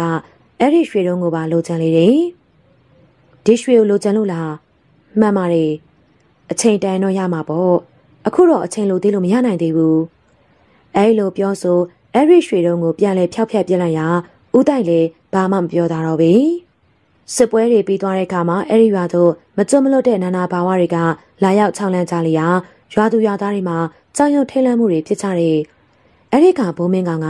ရေခွက်တစ်ခတ်ထိပ်ကိုရေရွေထက်တရွာလုံးကိုလိုက်လံဖြန့်ပတ်ပြီးတယ်။ဒီနေရာနင်တို့နေရမယ့်နေရာမဟုတ်ဘူး။အဝေးကိုသွားကြသွားကြ။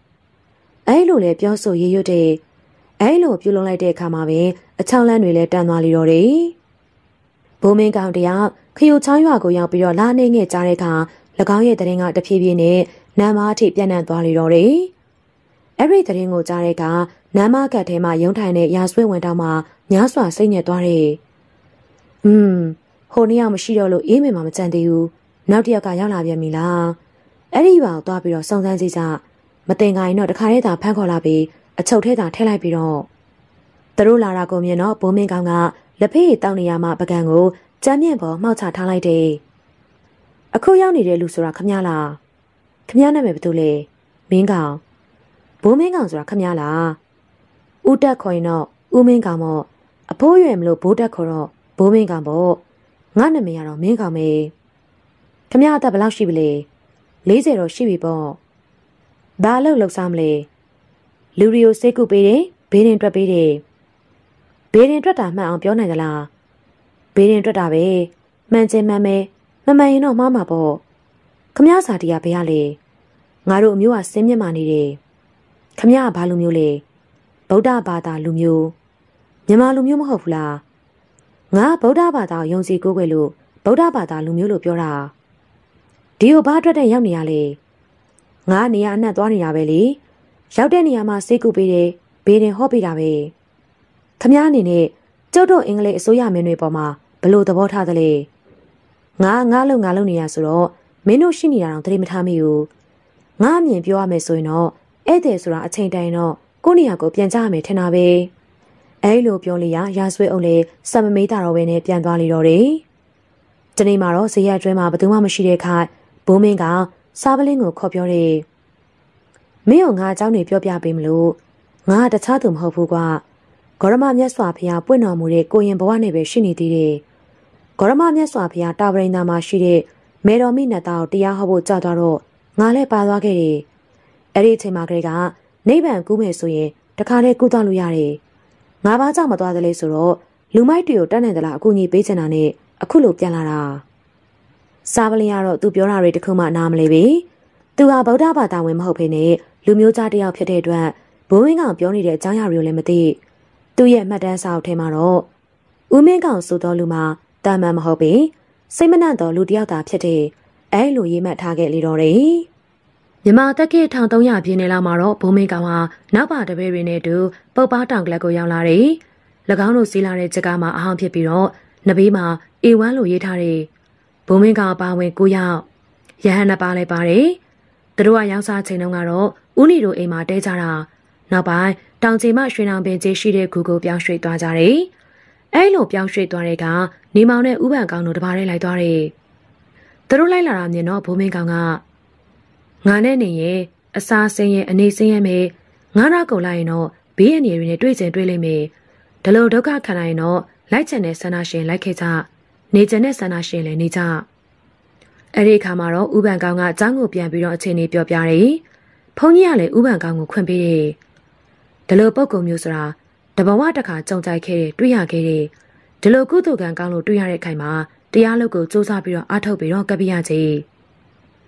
နေမောင်ကလည်းရွာပြောင်းတဲ့အခါမိဘတွေကိုအကြောင်းဆုံးဖွင့်ပြောပြီးတော့ခွင့်တောင်းနေအခုလောလောဆယ်တော့ကျွန်တော်စီးပွားရေးလုပ်တယ်မလုပ်နိုင်သေးဘူးအမေအဘနဲ့တွေ့ရတော့ သူနဲ့အတူနေပြီးတော့အဋိဌာန်လုပ်တွေလုပ်ပြရစီလုပ်ပေါ့ကွာကောင်းတာလုပ်တာပဲ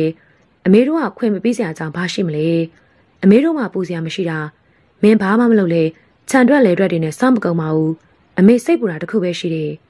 ဘာများလဲအမေရဲ့မင်းကတောက်ကလပ်မှာနေတာဆိုတော့မင်းကလေးရဲ့မိဘဆွေမျိုးတွေကတမျိုးထင်ပြီးရန်ရှာမှာဝဲအမေကစိုးရင်နာအဲ့ဒီအတွက်တော့စိတ်မပူပါနဲ့အမေရဲ့သူတို့ကရန်ရှာလာရင်တော့မှကျွန်တော်ဘက်ကတီးခံပြီးတော့ရှောင်နေပါမယ် တာရုကွယ်တာရုတာရုနေမောင်နေနဲ့တောင်ကလပ်မှာရောက်နေတဲ့အချိန်တာဝန်နှစ်ခုကိုလောက်ကင်နေရတကယ်ဆိုရှိတယ်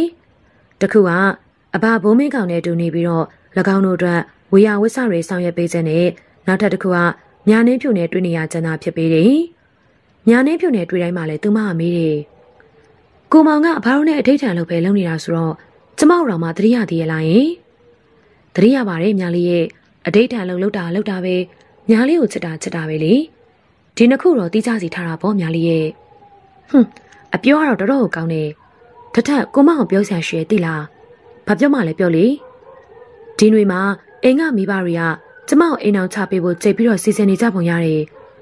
တကယ်လို့အဲ့ဒီစီစဉ်တာဖြစ်ရင်တော့ကိုမောင်နဲ့ဝေးကြလိမ့်မယ်ကိုမောင်ရဲ့ဘယ်လိုလုပ်ကြမလဲအဲ့လိုတော့အဝေးမခံနိုင်ပါဘူးညာလေးရဲ့ညာလေးကိုမရရတဲ့နည်းနဲ့ရအောင်ယူမှာ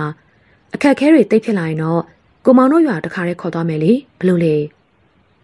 ကျမတဘောကတော့ကိုချစ်တဲ့သူနဲ့လက်တွဲရမယ်ဆိုရင်ဘယ်အချိန်နှမြောက်ရဖြစ်ဖြစ်ရတာပေါ့ရှင်ဒါလို့ဆိုရင်တော့ဘာမှစိတ်ပူမနေနဲ့တော့အချိန်တန်များလေးကိုမရရတဲ့အနေနဲ့ခေါ်သွားပေးပါမယ်အဲလိုပြောလိုက်တော့မှကျင်းနဲ့သွားလေတယ်တကယ်တော့သူမနဲ့အနေမောင်တို့နှစ်ယောက်အချိန်ဒီမှာထင်သလောက်တော့မလွယ်လာပြီဂျားထဲမှာနောက်ဆက်တဲ့သူတွေကရှိနေတာညာနှင်းဖြူမိဘတွေကတလားမစိုးတော့လေအကိုဖြစ်သူထွန်ခါနဲ့ သူ့ရဲ့မိမမေများတို့ကဝင်ပြီးတော့နှောက်ယှက်နေကြတယ်။ညာနေဖြူကိုသဘောကျတဲ့သူတွေမှာဘာထင်လဲပါဝင်နေ။ထွန်ခါကမိဘနဲ့စီးပွားအတူတူနေတော့လေအတောက်စားနဲ့လောင်ကစားဝါသနာပါတယ်။လောင်ကစားခြင်းကြောင့်အရင်မရှိတော့ဘူးဆိုရင်တော့ဘာထင်တန်းကနေငွေချေတယ်။မင်းယူထားတဲ့ငွေတွေကအတော့အများနေပြီနော်ထွန်ခါပြန်မဆက်နိုင်တော့မင်းတို့ထမ်းမင်းတွေကိုတန်မိုးဖြတ်ပြီးတော့တိတ်ယူရမှာပဲ။အဲလိုတော့မလုပ်ပါနဲ့ကွာ။ဒီထမ်းမင်းတွေကငါပိုင်နာတွေမှမဟုတ်တာအဖေပိုင်နာတွေကွာ။ ဒါပြန်ငါဆရာယူထားတဲ့အကျွေးတွေမင်းဘယ်လိုပြန်ဆက်မှာလဲဆက်ပါမယ်ကွာငါကလေးပေးထားတဲ့အတိုင်းငါညမများနေဖြူနဲ့အဆင်ပြေအောင်လို့အောင်သွဲပေးပါမယ်မင်းရတာပြောနေတာညာနေဖြူကငါ့ကိုလုံလုံသဘောမကျဘူး။ तू ကဟိုနီမောင်ဆိုတဲ့ကောင်ကိုပဲစိတ်ဝင်စားနေတာကွာ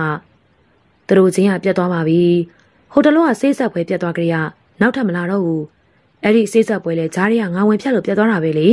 ။မင်းကသူတို့ပြက်နေရလို့ထင်လို့လား။ငါပြောတာမဟုတ်ဘူးလား။ နေမောင်ကမင်းတို့ဆိုင်တာမလားတော့တာတောင်ကလပ်မှာတော့အမြဲရှိနေတာအခုရောက်နေတဲ့ဦးမင်းကောင်ဆိုတဲ့အဖိုးကြီးစီမှာတပည့်ခံပြီးတော့နေနေတာဒါတော့မင်းကမသိဘူးလားမင်းတကယ်ပြောနေရလားတကယ်ပြောတာပေါ့မင်းမယုံရင်တောင်ကလပ်ကညောင်မင်းကြီးရှိအောင်သွားကြည့်ငါအထင်ပြောရရင်တော့သူတို့နှစ်ယောက်ကအခုချိန်ကြီးအဆက်အသွယ်ရှိနေကြသေးတဲ့ပုံပဲကွာအဲလိုပြောတဲ့အတွက်တနေ့တော့တောင်ကလက်တောင်ကြီးမှာရှိတဲ့ရွှေညောင်မဲရှိရကိုမယောင်မလဲနဲ့လာချောင်းကြည့်လေတယ်။နီမောင်ကထုံးခါကုန်မြင်နေကွာ တေကျွမ်းပေးသားမှုပြုံးပြီးတော့နှုတ်ဆက်တယ်။ထွန်းခါကသူ့နားရှောက်လာပြီးတော့မေးတယ်။မင်းကဒီမှာဘာလာလုပ်တာလဲ။အဘတို့ကိုအကူညီပေးရင်းနဲ့အဋိဌံဝင်နေတာပါ။မင်းရွယ်နဲ့အဋိဌံဝင်နေတယ်ဆိုတော့ရဲစရာပဲကွာ။မင်းကနမနဲ့အဆက်အသွယ်ရှိနေသေးတယ်မဟုတ်လား။အခုတော့အဘတို့ရဲ့ဝေယဝစ်စာလုပ်တွေပဲလုပ်နေပြီးတာပါ။အေးအေးငါနမနဲ့မပတ်သက်ဘူးဆိုရင်တော့ပြီးတာပါပဲ။ဒါမှထပ်ရှုပ်လာရင်တော့ငါနဲ့တွေ့ရမှာပေါ့ကွာ။ နောက်တစ်နေ့မှာတော့ဘုံမင်းကောင်ကပြောလေတယ်။နောက်ပိုင်းရက်တွေမှာငါတို့ဆေးကုပေးရမယ့်လူတွေများလာလိမ့်မယ်။သူတို့မလာခင်မှာငါတို့ကဆေးမြက်ဆေးဥတွေကြိုတင်ပြီးတော့ရှာထားကြရမယ်။ဒါကြောင့်တောထဲကိုသွားရအောင်။တောထဲရောက်တဲ့အခါမှာဘယ်နေရာရောက်နေမှမသိကြတော့ဘူး။ရှေ့မှသွားနေတဲ့ဘုံမင်းကောင်ကတော့နောက်ကပါလာတဲ့သူတွေကိုဘယ်လိုပဲပုံဖြစ်နေတယ်ဆိုတာတစ်ချက်လေးမှလည်းမကြည့်ဘဲနဲ့ဒီဇိုင်းဆိုင်နဲ့သာသွားနေတာ။ လမ်းရောက်တော့မှထမင်းစားသူအစားရေငတ်သူအငတ်ပြီးတော့မရှူနိုင်မကယ်နိုင်ဖြစ်ကြတယ်။အရိခါနီမောင်ကဥပန်ကောင်ကိုတူတူလေးကပ်ပြောလိုက်တယ်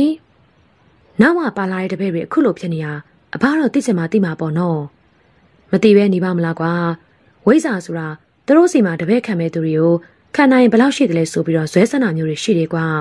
။နီမောင်လေးဝမ်းပိုက်ထဲမှာဆာလာမှုဖြစ်တော့လေစိတ်တန်းထားပြီးတော့လိုက်လေတယ်။တနေရာရောက်တဲ့အခါကျမှ ရှေ့မှသွားနေတဲ့ဘုံမင်းကောင်က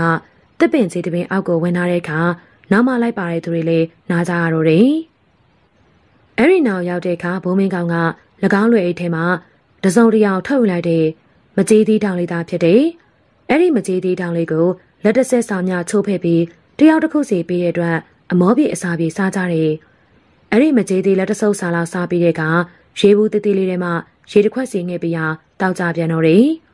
အဲလိုစားတော့ပြီးရဲ့အခါမောပန်းကျဲဆာလောင်ကျဲတွေပြပြောင်းသွားပြီးလန်းလန်းဆန်းဆန်းပြန်ဖြစ်လာတယ်။အဲဒီနောက်မှာတော့တောရဲကိုသွားပြီးတော့ဆေးမြစ်ဆေးဦးတွေကိုရှာကြလေတော့တယ်။တောထဲမှာပေါင်းနေတဲ့တစ်ပင်တရွံမှန်သမျှဆေးဘက်ဝင်တာကြည့်ပဲ။ကိုနဲ့ထိုက်တာကိုရကြလိမ့်မယ်။လိုက်ရှာကြပြီးတော့နောက်တစ်နေ့မှာတော့ရေဘူးစန္ဒမှာငါ့ကိုပြန်တွေ့ရလိမ့်မယ်။အဲဒီလိုပြောပြီးတော့ခြုံခွဲတစ်ခုနောက်ကိုဝင်ရောက်သွားလျာနောက်ထပ်မတွေ့ရတော့ဘူး။ နေမောင်နဲ့ဥပန်ကောင်းတို့လည်းတခြားလူတွေနဲ့လိုဝဲမလိုက်တော့ဘဲနဲ့တခြားတနေရာဘက်ကိုထွက်ခဲ့တယ်။နောက်တနေ့မှရေဘူးစမ်းဘက်မှာပြန်တွေ့မယ်လို့ပြောသွားပုံထားရင်တော့ဒီနေ့ညတော့တောထဲမှာပဲအိတ်ကြမဲ့ပုံမယ်နော်နေမဝင်ကယ်မှာဆေးပင်စင်းမြေရအောင်ရှာဖွေထားကြရအောင်နေမောင်နဲ့ဥပန်ကောင်းတို့အဲ့ဒီလိုနှစ်ယောက်သားပြောပြီးတောနဲ့အတွင်ကိုဝင်ခဲ့တယ်တနေရာရောက်တဲ့ကဆူဆူဝါဝါအော်တန်ကြားရတယ်ကဲကြပါကဲတော်မူကြပါအတန်ကြားရနေအောင်ရောက်သွားတဲ့က မြင်ကွင်းကတော့မကောင်းလာပြီတပင်တပင်အောက်မှာအစေးမြင်တွေကန့်နေတဲ့အဲ့ဒီနေရာမှာသွားမရတဲ့အတွက်အော်ဟစ်အကူကြီးတောင်းနေတဲ့လူတယောက်သူတို့နဲ့အတူပါလာသူမဟုတ်ဘဲနဲ့နန်းနစိန်တယောက်ဖြစ်နေတယ်။အဲ့ဒါနဲ့ညီမောင်ကဘလို့ဖြစ်နေတာလဲဗျ။ဆေးပင်ဆေးဥဆိုင်နဲ့ဒီတစ်ပင်ကကြားတဲ့အဆေးတွေနဲ့ကပ်မိပြီးတော့ဘဲမှမသွားတော့လို့ကြကြပါအောင်ဗျာ။အဲ့ဒါကြောင့်ညီမောင်ကရှေ့ကိုတွန်းဝင်ရဟန်ပြန်လိုက်တာနဲ့ဥပန်ကောင်ကဟန်ထားလိုက်တယ်။ ရှေ့မသွားနဲ့တော်ကြမင်းမသူ့လိုဘွားမျိုးရောက်သွားလိမ့်မယ်ဒီတစ်ပင်ကသူ့ပင်ကထွက်တဲ့အစေးတွေနဲ့အနောက်ရောက်လာတဲ့လူနဲ့တရိတ်ဆန်တွေကိုဖမ်းစားတဲ့တစ်ပင်မျိုးဒီတော့ဘယ်လိုလုပ်ကြမလဲဒီနားတစ်ဝိုက်မှာလွယ်ကျိုးခက်ရှိရှိတချောင်းသာရအောင်ရှာခဲ့ပြီးတော့အဲလိုပြောတဲ့အတွက်နေမောင်ကနွယ်ကျိုးရှိတချောင်းကိုရှာဖွေခေါ်ယူလာလေတယ်။အဲဒီနွယ်ကျိုးရတဲ့ကအစေးတွေနဲ့ညှိနေတဲ့လူရှိအောင်လှမ်းပစ်ပေးလိုက်တယ်။ဒီကျိုးသာမြင်းမြဲကင်ထားပြီးတော့ အဲ့ဒီသူကကျိုးကိုဖမ်းမိသွားတဲ့ကနှစ်ယောက်သားအားဆိုင်ပြီးတော့ဆွဲယူတော့မှတဖြည်းဖြည်းနဲ့ပါလာတယ်သူတို့နာရောက်တဲ့ကကိုမာကတ်နေတဲ့ဆေးတွေကိုဝိုင်းဝန်းဖယ်ရှားပေးလိုက်တယ်။ကျေးဇူးတင်လိုက်တာဗျာ။ခမများတို့နဲ့သာမတွေ့ရင်တော့တရားမှအမှန်ပဲ။ထက်ထက်ခမများတို့ကဆေးပင်ဆေးကိုရှာနေကြတဲ့သူတွေလား။ဟုတ်ပါတယ်။ကျွန်တော်လည်းဆေးပင်ရာရှာတာပါပဲ။ဟိုဘက်နားမှာကမုံပင်တွေတွေ့ခဲ့တယ်ဗျ။ကျွန်တော်လိုက်ပြပေးမယ်လေ။ အဲလိုပြောပြီးတော့ခေါ်သွားတဲ့အတွက်နေမောင်တို့နှစ်ယောက်လည်းနောက်ကနေလိုက်သွားကြတယ်။ကြောက်တောင်နှစ်ခုရဲ့ရှိုးကြားရောက်တဲ့ကကြောက်ပြတစ်ခုပေါ်မှာပေါက်နေတဲ့ကမုံနဲ့ပင်ကိုတွေ့ရတယ်။အဲ့ဒီသူကမနှုတ်ဖဲနဲ့နောက်နားမှာရဲကျင်းနေလေရာနေမောင်နဲ့ဥပန်ကောင်းတို့ကကမုံနဲ့ပင်တွေကိုအမြင့်ပါရလေအောင်ဂယုတက်ဆိုင်နဲ့နှုတ်ယူတယ်။ပြီးတော့မှလဲကြည့်လိုက်တဲ့အခါစောစောအနောက်ဘက်မှာရက်နေတဲ့လူတွေကိုမတွေ့ရတော့ဘူး။နောက်တနေ့မနက်ပိုင်းချိန်ရေပူစမ်းကိုရောက်သွားတဲ့အခါမှာတော့ စမ်းချောင်းပေးမှမျက်နှာတင်နေတဲ့ဘုံမင်းကောင်နဲ့ပြန်တွေ့ရတယ်။မိမောင်က၎င်းတို့ရလာတဲ့ကမုံနဲ့အပင်ကိုအဖောက်ပြလိုက်တဲ့အခါဝိဇ္ဇာပေးလိုက်တဲ့ဆေးပင်တွေပဲ။အဲလိုသာတုတ်တုတ်တုတ်တုတ်မှတ်ချက်ချလိုက်တယ်တကယ်ဆိုရင်တော့ဝိဇ္ဇာလိုလန်းဆိုဒီမှာစမ်းကြဲမှုတွေနဲ့ပြည့်နေတတ်ပေတယ်ရွှေကူကြောင်တော့ရဟာဆိုရင်တော့နေမောင်တဲခုန်နေတဲ့ကြောင်ဖြစ်လေတယ်အဲ့ဒီကြောင်မှာဆရာတော်ဥက္ကဋ္ဌလရှိစဉ်ကအတောင်ပြုခဲ့တဲ့ဂျကာဟောင်းကြီးတစ်စီရှိတယ် နောက်ပိုင်းဆရာတော်မရှိတော့တဲ့က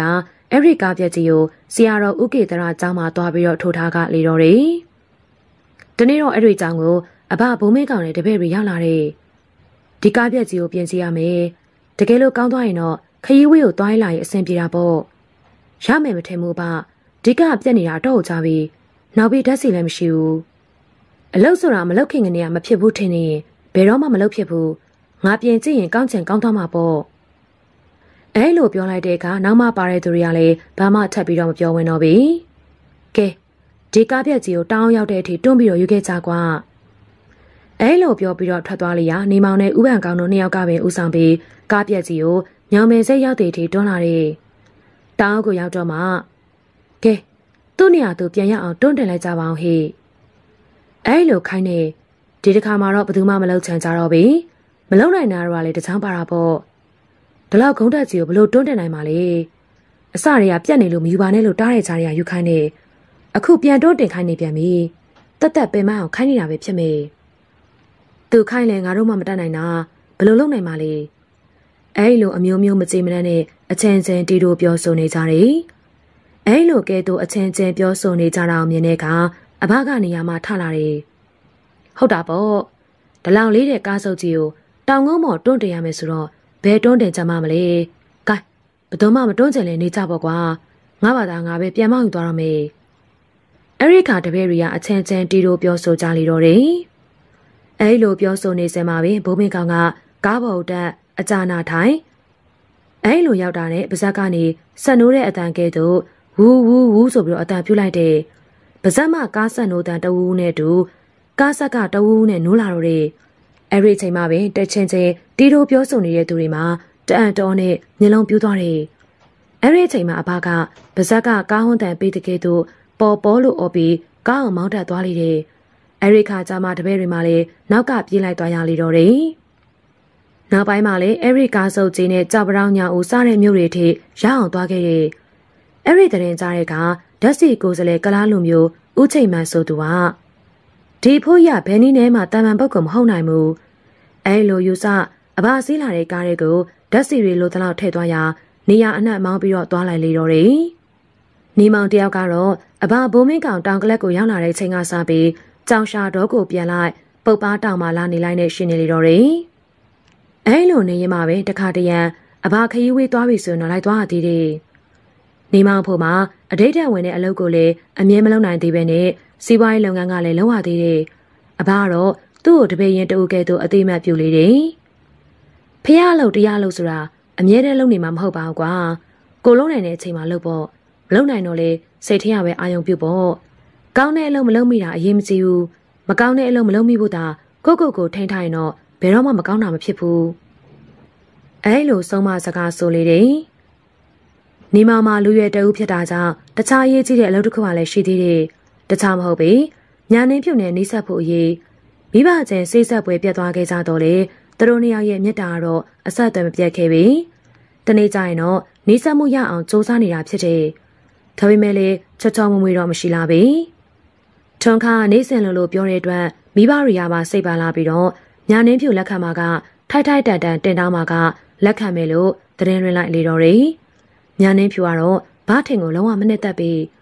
ကိုယ့်ရဲ့အလေးချိန်နဲ့မညီမျှအောင်လို့ရွှေရီပုံပေးပြီးတော့တင်တောင်းမယ်ဆိုရင်တော့မှလက်မခံဘူးလို့ပြောထားလေတော့တယ်။တနေ့တော့ဘားထင်ကရက်ပြလူကြီးတွေကိုပါခေါ်လာပြီးစိတ်ဆက်ကြောင်းလန့်မှုကိုပြုလုပ်တယ်။ကျွန်တော်ဘက်က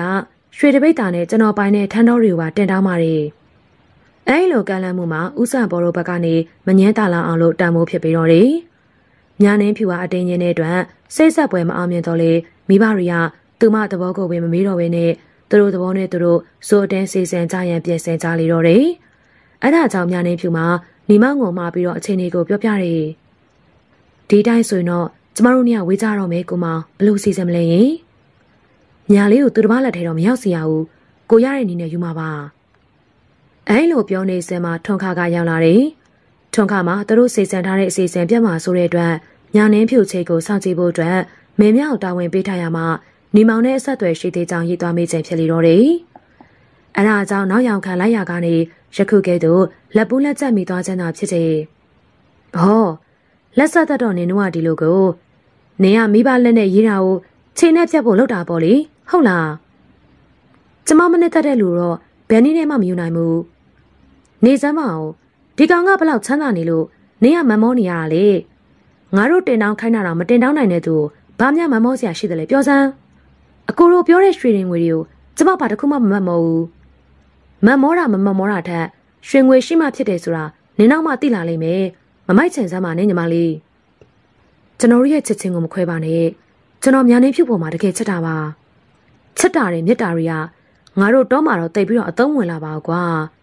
မင်းပြောတာတွေကဇက်ကားတဲ့နေရာမှာပြောရင်တော့နားထောင်လို့ကောင်းတာပေါ့ဒီမှာအရေးကြီးဆုံးကတော့ရွှေငွေရှိဖို့ပဲမင်းအောင်ကတခုတော့ပြောမယ် မင်းကညီမကိုလိုချင်တော့သူများတွေထပ်ပို့ပြီးတော့တင်တောင်းလာနိုင်တော့စဉ်းစားမှာပေါ့ကွာငါတငယ်ချင်းဘာထင်ဆိုတာ तू ကထန်းတော်တွေလဲပိုင်နေအခု तू ကရွှေတပိတ်တာနဲ့ထန်းတော်တော်တင်တောင်းမယ်လို့ကန့်လန့်ထားတာဘလို့လဲမင်းသူ့ထက်တောင်လို့တင်တောင်းနိုင်မှာမလားတကယ်လို့တင်တောင်းမယ်ဆိုတော့အချိန်မရွေးလာတောင်းပြီးတော့ဟေးအဲလိုပြောပြီးတော့ညာနေဖြူပါတပါးရဲခေါ်သွားပြီးတော့ပြန်သွားလေတော့တယ်နီမောင်တယောက်တည်းအဲ့ဒီနေရာမှာငါရတာကြမ်းခဲ့တော့တယ် ထွန်ခပြောသွားတဲ့အတိုင်းဆိုရင်တော့ညာနှင်းဖြူနယ်နေဆိုင်ရာအကြောင်းကမရှိတော့ဘူး။သူတို့ဘက်ကပြောသလောက်တင်တောင်းနိုင်မှုလည်းမလွယ်လား။သူတို့ပိုင်ဆိုင်တဲ့ပစ္စည်းတွေကိုထုတ်ခွဲရောင်းချပြီးတော့တင်တောင်းမယ်ဆိုရင်တော့ရနိုင်တယ်။ဒါပေမဲ့လည်းအဲ့လောက်တော့မမိုင်မဲပြီ။သူ့ဘဝပျော်ရွှင်မှုအတွက်မိဘတွေစိတ်ဆင်းရမယ့်အဖြစ်မျိုးတော့သူမလုပ်လို့ဘူး။အခုခါသူတို့နှစ်ယောက်အကြောင်းကိုထွန်းခတည်သွားပြီဖြစ်တဲ့အတွက်နောက်ထပ်တွေးဖို့ရန်အခွင့်အရေးလေးရတော့မှာမဟုတ်တော့ဘူး။အဲဒါကြောင့်စိတ်ထဲမှာနောက်ကျရှုပ်ထွေးစွာကြောင့် ပရိစိတ်တဲ့အလုပ်ကိုဝင်မလုပ်နိုင်တော့ဘူးအဲ့ဒီခါဥပန်ကောင်းကမေးတယ်မင်းဘာဖြစ်နေရလဲမှိုင်းလိုက်လားနေမောင်ကအကျိုးကြောင့်ပြောပြလိုက်တယ်ဒါလောက်လဲစိတ်ဆင်းရဲနေပါနဲ့ကွာမင်းတို့ချင်းဖူးစာပါလာတယ်ဆိုရင်တော့ဘသူဖြတ်လို့မှမပြတ်ဘူးစုံစည်းရမှာပါတကယ်လို့ရေစမ်းပါခဲ့ရင်တော့လေမင်းဘလောက်ဖဲစူးစမ်းနေပြီမဲ့ရကြမှာရမှာအဲလိုသာသဘောထားပြီးတော့စိတ်ကိုဖြေလိုက်မမင်းစိတ်သက်သာရရသွားလိမ့်မယ် နေမဘက်ကအချိန်နေမဟန်တော်မှန်းသိတဲ့အခါထွန်းခါကဘာထင်တော်မင်္ဂလာပွဲကိစ္စအမြန်ဆုံးဖြစ်အောင်စီစဉ်ရတိုက်တွန်းလို့ဘာထင်ကလည်းစူးစမ်းဆောင်ရွက်နေလေတော့တယ်အဲ့ဒီရက်အတွင်းမှာတော့ညာနေဖြူတယောက်နေမောင်နဲ့မတွေ့ရတော့ပြီသူတို့နှစ်ယောက်ချင်းတွေကိုတည်သွားပြီဖြစ်တဲ့အတွက်ထွန်းခမိမအမေများကမျက်စိထောက်ထောက်ကြည့်နေတဲ့အတွက်လွတ်လပ်ခွင့်တော့မရတော့ပြီဒီနေ့အဘဘုံမင်းကောင်ကနေမောင်ကိုခေါ်ပြောတယ်မင်းမိဘတွေဘယ်မှာနေရလဲကြောင်ရှာတော့ရမှာနေပါတယ်ဗျ မင်းတို့သွားခေါ်ပြီးတော့ဗျာဘာကိစ္စရှိလို့လဲဗျရောက်တော့သိရစီမယ်ကွယ်အဲ့လိုပြောတဲ့အတွက်အနီမောင်လည်းထပ်မမေးတော့ဘဲနဲ့ကြောင်ရှာတော့ရွာကိုပြန်သွားတယ်အဲ့ဒီခါအဘကဥပန်ကောင်ကိုခေါ်ပြောတယ်ကပ္ပယကြီးရွှေရင်းတောင်နာကရှိုရီရနေပြီးတော့ရှွန်စင်နှစ်ပိတ်တာလောက်သွားယူလာခဲ့ဥပန်ကောင်ကလည်းထွေထွေထူထူပြန်မနေနေတော့ဘဲနဲ့ရွှေရင်းတောင်ငွေတွန်းတောင်ဘက်ကိုသွားပြီးအဘမာတဲ့အတိုင်းရှွန်စေးတွေကိုယူလာခဲ့တယ် လူရမရတပိတ်တာခန့်အလေးချိန်ရှိတဲ့ရှွန်စေးသုံးလုံးယူလာခဲ့တယ်ခမည်းစီမှာဖိုရှိတယ်မဟုတ်လားရှိပါတယ်ဗျအဲဒီနောက်အဘဘုံမင်းကောင်ကိုယ်တိုင်လိုက်လာပြီးတော့ဖိုထိုးလေတော့တယ်ဥပန်ကောင်ကလည်းအဘကိုယ်တိုင်ဖိုထိုးနေတာကိုမြင်ရတဲ့အခါများစွာအံ့ဩသွားတယ်နောက်တနေ့မှတော့နေမောင်ကသူ့ရဲ့မိဘတွေကိုခေါ်ပြီးတော့ပြန်ရောက်လာတယ်အဲရိခါဥပန်ကောင်ကပြုံးရွှင်တဲ့အမူအရာနဲ့ပြောလေတယ်နေမောင်ကြီးအဝတ်အစားသာလဲပြီတော့ဟိဟမ် ဘယ်သွားကြမှာလဲဗျအဘကမင်းရောက်လာရင်မိမတောင်းပေးလိုက်လို့ငါ့အောင်မထားတာမင်းကောင်မလေးကိုတွားတောင်းကြမယ်လေကွာဟမ်ဖြစ်ပါမလားကျွန်တော်တို့မှဘာမှမပါမလာတာဖြစ်ပါတယ်ကွာမင်းတို့နောက်ကသာလိုက်ခဲ့ဟိုရောက်တော့ငါပြောပြမယ်အဲလိုပြောလိုက်ရနေမောင်မှာမယုံရခက်ယုံရခက်ဖြစ်နေတော့တယ်အဲဒီနောက်မှာတော့ဥပန်ကောင်ကြိုတင်ခေါ်ထားတဲ့ရွာလူကြီးတချို့ပါရောက်လာတဲ့အတွက်ညာနှင်းဖြူတို့အိမ်ကိုသွားရင်ပြန်လိုက်တယ် နေမောင်စိတ်ထဲမှာတော့စိုးရိမ်တော့ကားတွေဝင်နေတယ်အစင်မပြေပါကမိဘတွေထပ်ပြီးတော့အဆက်ရမှာကိုလည်းစိုးရိမ်နေတယ်သူတို့ရောက်သွားတော့ဥဆန်ပေါ်တို့ကလည်းတအံတအောဖြစ်နေရာထိုင်ခင်းတွေပေးကြတယ်ဘာဘာကိစ္စညာရှိကြလို့ပါလဲကျုပ်တို့ကတားရေးသမီးရဲ့ကိစ္စတွေလာကြတာပါဒီရမောင်နေမောင်နဲ့ခမရတို့ရဲ့သမီးလေးကလူငယ်ချင်းမြတ်တာမျှနေကြပါတယ်ဒါကြောင့်မင်းကလေးကိုတင်တောင်းတက်တယ်နဲ့လာရောက်တောင်းယူတာပါအဲလိုဥက္ကကောင်ကပြောလိုက်တယ် အဲရီခိုင်မှာပဲထုံးစံတိုင်းထုံခါကဝင်ပြောလေတော့တယ်ခမရတို့လာကြပြန်ပြီလားအရင်တစ်ခေါက်လာတော့ကလေကျုပ်တို့ဘက်ကတောင်းတာမပေးနိုင်လို့ပြန်သွားကြရပြီပြီမင်းတို့ဘက်ကမင်းကလေးတို့ဘလောက်တင်တောင်းစေချင်တာလဲတခြားလူတွေကရွှေတပိတ်တာနဲ့ထန်တော်တော်တင်တောင်းမယ်လို့ကန့်လန့်ထားတယ်ထန်တော်တော်ရဲ့တန်ဖိုးကဘလောက်များရှိသလဲအခုကာလပေါက်စင်းနဲ့တွက်မယ်ဆိုရင်တော့ရွှေတပိတ်တာတန်ဖိုးလောက်ရှိမှာပေါ့ကောင်းပါပြီ ကျုပ်တို့ဘက်ကဒီလိုတင်တော့ပေးမယ်ဆိုရင်ရောမိန်းကလေးမိဘရှင်တွေအနေနဲ့လက်ခံပေးနိုင်မှာမလားဒါတော့ရှင်ကျမတို့သမီးကလည်းမေတ္တာရှိတယ်တင်တောင်းတင့်တယ်လဲတင်တောင်းပေးမယ်ဆိုရင်တော့ကျမတို့ကမိဘတွေအနေနဲ့လက်မခံနိုင်စရာမရှိပါဘူးကဲလူချင်းမင်းများကြားတော်မူတဲ့အတိုင်းပါပဲမိန်းကလေးဘက်ကသူတို့လိုချင်တဲ့အတိုင်းဖြစ်မယ်ဆိုရင်တော့လက်ခံမယ်လို့ပြောပါတယ်ဒီတော့ကပ္ပိယကြီးကဘယ်လိုလုပ်မှလဲကျုပ်တို့ဘက်ကတင်တောင်းမှမယ် အဲလိုပြောပြီးတော့သူလေလာတဲ့လွယ်အတွင်းကအဝတ်နဲ့ထုတ်ထားတဲ့အထုပ်ထုပ်ကိုယူဖြာပေါ်ကိုတွန်းချလိုက်တဲ့ချွင်ချွင်ချွင်ဆိုသောမိတန်နဲ့တူရွှေရင်းကားတွေကျလာတယ်ဝင်းလန်းနေတဲ့ရွှေရင်းကားတွေကိုမြင်တဲ့ကအာလုံးတအံတော်ဖြစ်သွားတယ်နီမောင်ကိုရံမယုံကြည်နိုင်လောက်အောင်ဖြစ်သွားတယ်ဒေရွှေရင်းကားတွေကအခောက်ရွှေစစ်ပါတပြားကိုတစ်ချက်သားရှိတယ်အပြားတရာဆိုတော့ရွှေသားအလေးချိန်တစ်ပိတ်သားရှိတယ်ဒါယောက်ျားလေးဘက်ကတင်နှောင်းတဲ့ပစ္စည်း အဲလိုပြောပြီးတော့ဥဆန်ဘော်ရိုဘက်ကိုတွန်းပို့လိုက်တယ်။ဥပန်ကောင်းကလွယ်ကြီးတွင်းကနေနောက်ထပ်အထောက်တရုပ်ကိုယူပြီးတော့ဖျားပေါ်ကိုတွန်းချလိုက်ပြန်နေရွှေရင်းကတရားကြလာပြန်နေဒါကြိုက်တဲ့ထန်းတော်လင်းမြေတွေဝယ်ဖို့အတွက်ရွှေရင်းကတရားပါဥပန်ကောင်းကတွန်းချပေးလိုက်တဲ့ရွှေရင်းကားတွေမှာဖျားပေါ်မှာအယောင်တလန်းလန်းနဲ့တောက်ပါနေတော့တယ်လွယ်ထရကနေနောက်ထပ်အထောက်တရုပ်ကိုထပ်ယူဖျားပေါ်ကိုတွန်းချလိုက်ပြန်နေငွေရင်းကားများပင်ဖြစ်ပြီးတော့တယ်ဒါက မင်္ဂလာပွဲစားစီအတွက်အသုံးပြုဖို့ငွေရင်းကအပြားတရာရှိတယ်။ဒလို့တင်တောင်းတဲ့အတွက်မင်္ဂလေးမိဘတွေရဲ့သဘောသိပြစေ။အိုးဘာမှပြောစရာရှိသေးလဲရှင်။သမီးကလည်းမေတ္တာရှိနေအခုလိုမိသားဖာသားပြီးပြီးတင်တောင်းတင့်တယ်လာတောင်းရမှတော့ကျမတို့ဘက်ကညင်းပယ်စရာအကြောင်းမရှိပါဘူး။သဘောတူလက်ခံပါတယ်ရှင်။နေကောင်းရက်တာရွေးချယ်ပြီးတော့မင်္ဂလာပွဲကျင်းပဖို့စီစဉ်ကြပါတော့။အဲလိုပြောလိုက်လျာနေမောင်နဲ့မြာရင်းဖြူတို့နှစ်ယောက်ရဲ့ စိတ်ဆက်ကြောင်းလန့်ခြင်းကိစ္စမှာအအောင်မြင်ပြီးစေသွားလေတော့တယ်။အဲလိုပြီးတဲ့အခါကျမှနေမောင်ကဥပန်ကောင်ကိုနှစ်ယောက်ချင်းတွေ့ပြီးတော့တိုးတိုးတိတ်တိတ်မေးရတယ်။ကပ္ပိယာကြီးရွှေတွေငွေတွေကများလာ ਈ လားဘယ်ရရလာတာလဲ။အဘလုပ်ပေးသွားတာလေ။ तू ကမင်းစိတ်မချမ်းမသာဖြစ်နေတာမကြည့်ချင်လို့အခုလိုလုပ်ပေးတာ။ဘလို့လုပ်ပေးတာလဲယင်။သူ့အတွက်ကတော့ကွာဘာခက်ခဲတာမှလို့ရှော့ရှင်ရွှေဖြစ်တာပဲလေ။ အဲလိုပြောပြရနေမောင်လဲစံမမီတော့ပြီ။အဘဘိုးမင်းကောင်ရှိတဲ့နေရာကိုသွားပြီးရိုးသေးစွာနဲ့ကြောလိုက်တယ်။အဘကဗရိစိတ်နေရာမှာတစ်ချက်ကြည့်ပြီးတော့အစင်ပြေသွားပြီမဟုတ်လား။အခက်ခဲနဲ့တွေ့တိုင်းစိတ်မညစ်နဲ့အစင်ပြေအောင်လုပ်တဲ့တွေအများကြီးရှိတယ်။မင်းကအသက်ငယ်ပဲသေးတော့လော်ကီတာဝန်တွေထမ်းဆောင်ရပေအောင်မေ။ဒါပေမဲ့ဖះတရားမမေ့နဲ့။ကိုလုံးနေကြကြံ့ကြံ့အားထုတ်တဲ့အလုပ်တွေကိုလည်းပြက်စီနဲ့။အဲ့လိုမှကြတယ်။နေမောင်မျက်စီထဲမှာတော့ မျက်ရည်ကြီးတွေရွယ်ရဲရှိတော့တယ်။ဝမ်းသာလို့လားဝမ်းနေတဲ့မျက်ရည်ကျလာလာတော့သူအဲလိုအဆင်ပြေသွားခြင်းဟာနေမောင်နဲ့ညာနေဖြူတို့အတွက်ပျော်ရွှင်ပွဲရဖြစ်တော်လေညာနေဖြူတို့မုတ်ချပိုင်ဆိုင်ရမယ်လို့မျှော်လင့်ထားတဲ့ဘားတင်အတွက်ကတော့ဒေါသထွက်စရာဖြစ်နေပြီတော့တယ်။ဒါပေမဲ့သူတင်တောင်းနိုင်တဲ့ရွှေငွေပမာဏထက်ပိုပြီးတော့တင်တောင်းနိုင်တဲ့သူပေါ်လာတဲ့အတွက်ဘာမှမတန်နိုင်တော့ပြီ။အဲဒါကြောင့်ထုံခထံမှာရစရာရှိတဲ့အကျွေးတွေကိုပြန်တောင်းနေ။ကဲထုံခ မင်းနှမလည်းတခြားသူနဲ့ယူတော့မေငါ့ကိုပေးစရာရှိတဲ့အကျွေးတွေပြန်ဆက်ဖို့သာပြင်ပြီးတော့ငါလည်းဘယ်တက်နိုင်မှာမလဲကွာနေမောင်ကလည်းမင်းထပ်ပို့ပြီးတော့တောင်တင်တောင်းနိုင်လေတော့အမေတို့ကလက်ခံလိုက်တာဖြစ်မှာပေါ့ကွာဒီတော့မင်းဘယ်လိုလုပ်မလဲမင်းစီယာယူထားတဲ့ငွေတွေပြန်ပေးရမှာပေါ့ကွာအဲလိုပြောပြီးတော့အသိယူလာတဲ့ငွေရင်ကားတွေကိုကျွေးဆက်လျာဘားထင်အောင်မှအံ့ဩသွားတယ်အေးပေါ့လေမင်းဟာတထိရောက်ဖဖြစ်သွားမှတော့ငါ့ကိုကျွေးဆက်နိုင်ပြီပေါ့ဒါပေမဲ့ နေမောင်ဆိုတဲ့ကောင်တော့ငါမကျေနပ်ဘူးအဲလိုပြောကမကြာခဏဆိုသလိုနေမောင်ရှိတဲ့နေရာကိုရောက်လာပြီးတော့ရန်စားလေးရှိလေတော့တယ်နေမောင်ကတော့အဲလိုရန်စားလာခြင်းကိုရှောင်ရှားလေးရှိတယ်ညာနေဖြူအားလည်းတတိပေးထားတယ်ကိုမောင်ကျမတို့နှစ်ယောက်မင်္ဂလာမဆောင်ခင်မှာတတိဝရိယနဲ့နေပါနော်ကိုဖတင်တို့တွေကရန်ရှာမှာစိုးလို့ပါကိုမောင်ရဲ့စိတ်ချပါများလေးရဲ့သူတို့ကရန်မူလာရင်လေကိုမောင်ကမတွေ့အောင်ရှောင်သွားမှာ အဲလိုပြောတော့လေတနေ့မှာတော့ညာနှင်းဖြူတို့အိမ်ဘက်ကိုသွားစင်နေမှာ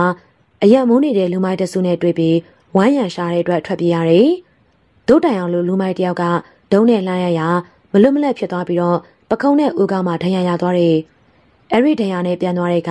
အဘဘိုးမေးကောင်ကမြင်တဲ့အတွက်မေးတယ်။ဘလို့ဖြစ်တာလဲ။ဟိုဟိုလူမိုက်တွေနှိပ်ဆက်လိုက်ပြန်မလား။သူတို့အပေါ်မှာမြစ်တာမပြည့်စင်းနဲ့သူ့ရဲ့စေတနာကံတိုင်း သူ့ထံပြန်ရောက်သွားလိမ့်မယ်။အဲလိုပြောပြီးတော့နေမဦးကောင်းမထရာကိုကွန်တရီနဲ့ဆိုပီယာချက်ချင်းတွေးတိတ်သွားရတော့တယ်။နောက်တနေ့မှာတော့ရွှေညောင်ပင်ကိုတကြီးဦးဘုံမင်ရောက်လာပြီးတော့နေမောင်ကိုလာခေါ်တယ်။သူ့ကိုဘာကြောင့်ဖမ်းမလဲ။ညအရန်ဖြစ်ကြတော့သူရိုက်လိုက်တာကြောင့်ရွာသားတယောက်ခေါင်းကွဲသွားတယ်။အဲ့ဒါကြောင့်သူ့ကိုဖမ်းပြီးတော့ဂက်ကိုပိုးရမယ်။အဲလိုပြောပြီးတော့ခေါ်သွားတယ်။သူ့အိမ်ကိုရောက်တဲ့အခါမှာထိတ်တုံးခတ်ထားတယ်။ထမင်းလည်းမကြွေရေမတိုက်ဖဲနဲ့ ဒီတိုင်းထားတာ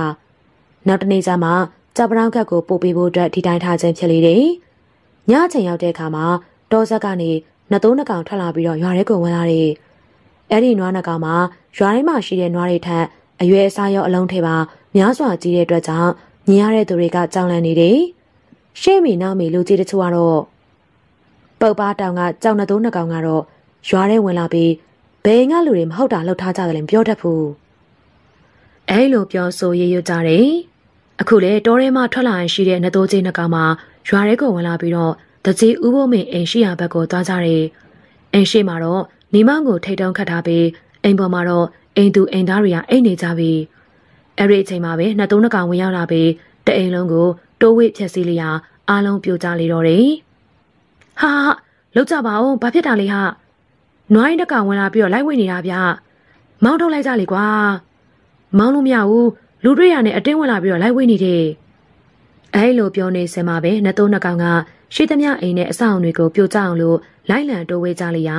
အိမ်တွေသာမကပဲနဲ့စပားနဲ့ပဲအစရှိတဲ့တီးနှံတွေတူလောင်တဲ့အဆောင်တွေပါပြိုကျပျက်စီးကုန်လေတော့တယ်။ဥပုံမရလည်းသူ့မှာရှိတဲ့နှလုံးပြိုတန်းတဲ့ပြစ်တော်လေကြေဆံမထွက်တဲ့အတွက်၎င်းမှထွက်ပြေးရတယ်။အဲလိုရိုးရိုးရိုးရိုးဖြစ်နေတဲ့ချိန်မှာပဲအဘဘိုးမင်းကောင်ရောက်လာပြီး နေမောင်ကိုထိတ်တုံးကဖြုတ်လာခေါ်သွားလေတော့တယ်။အဲလိုလာခေါ်သွားတာတော့ဘယ်သူမှမမြင်လိုက်မသိလိုက်ပြီ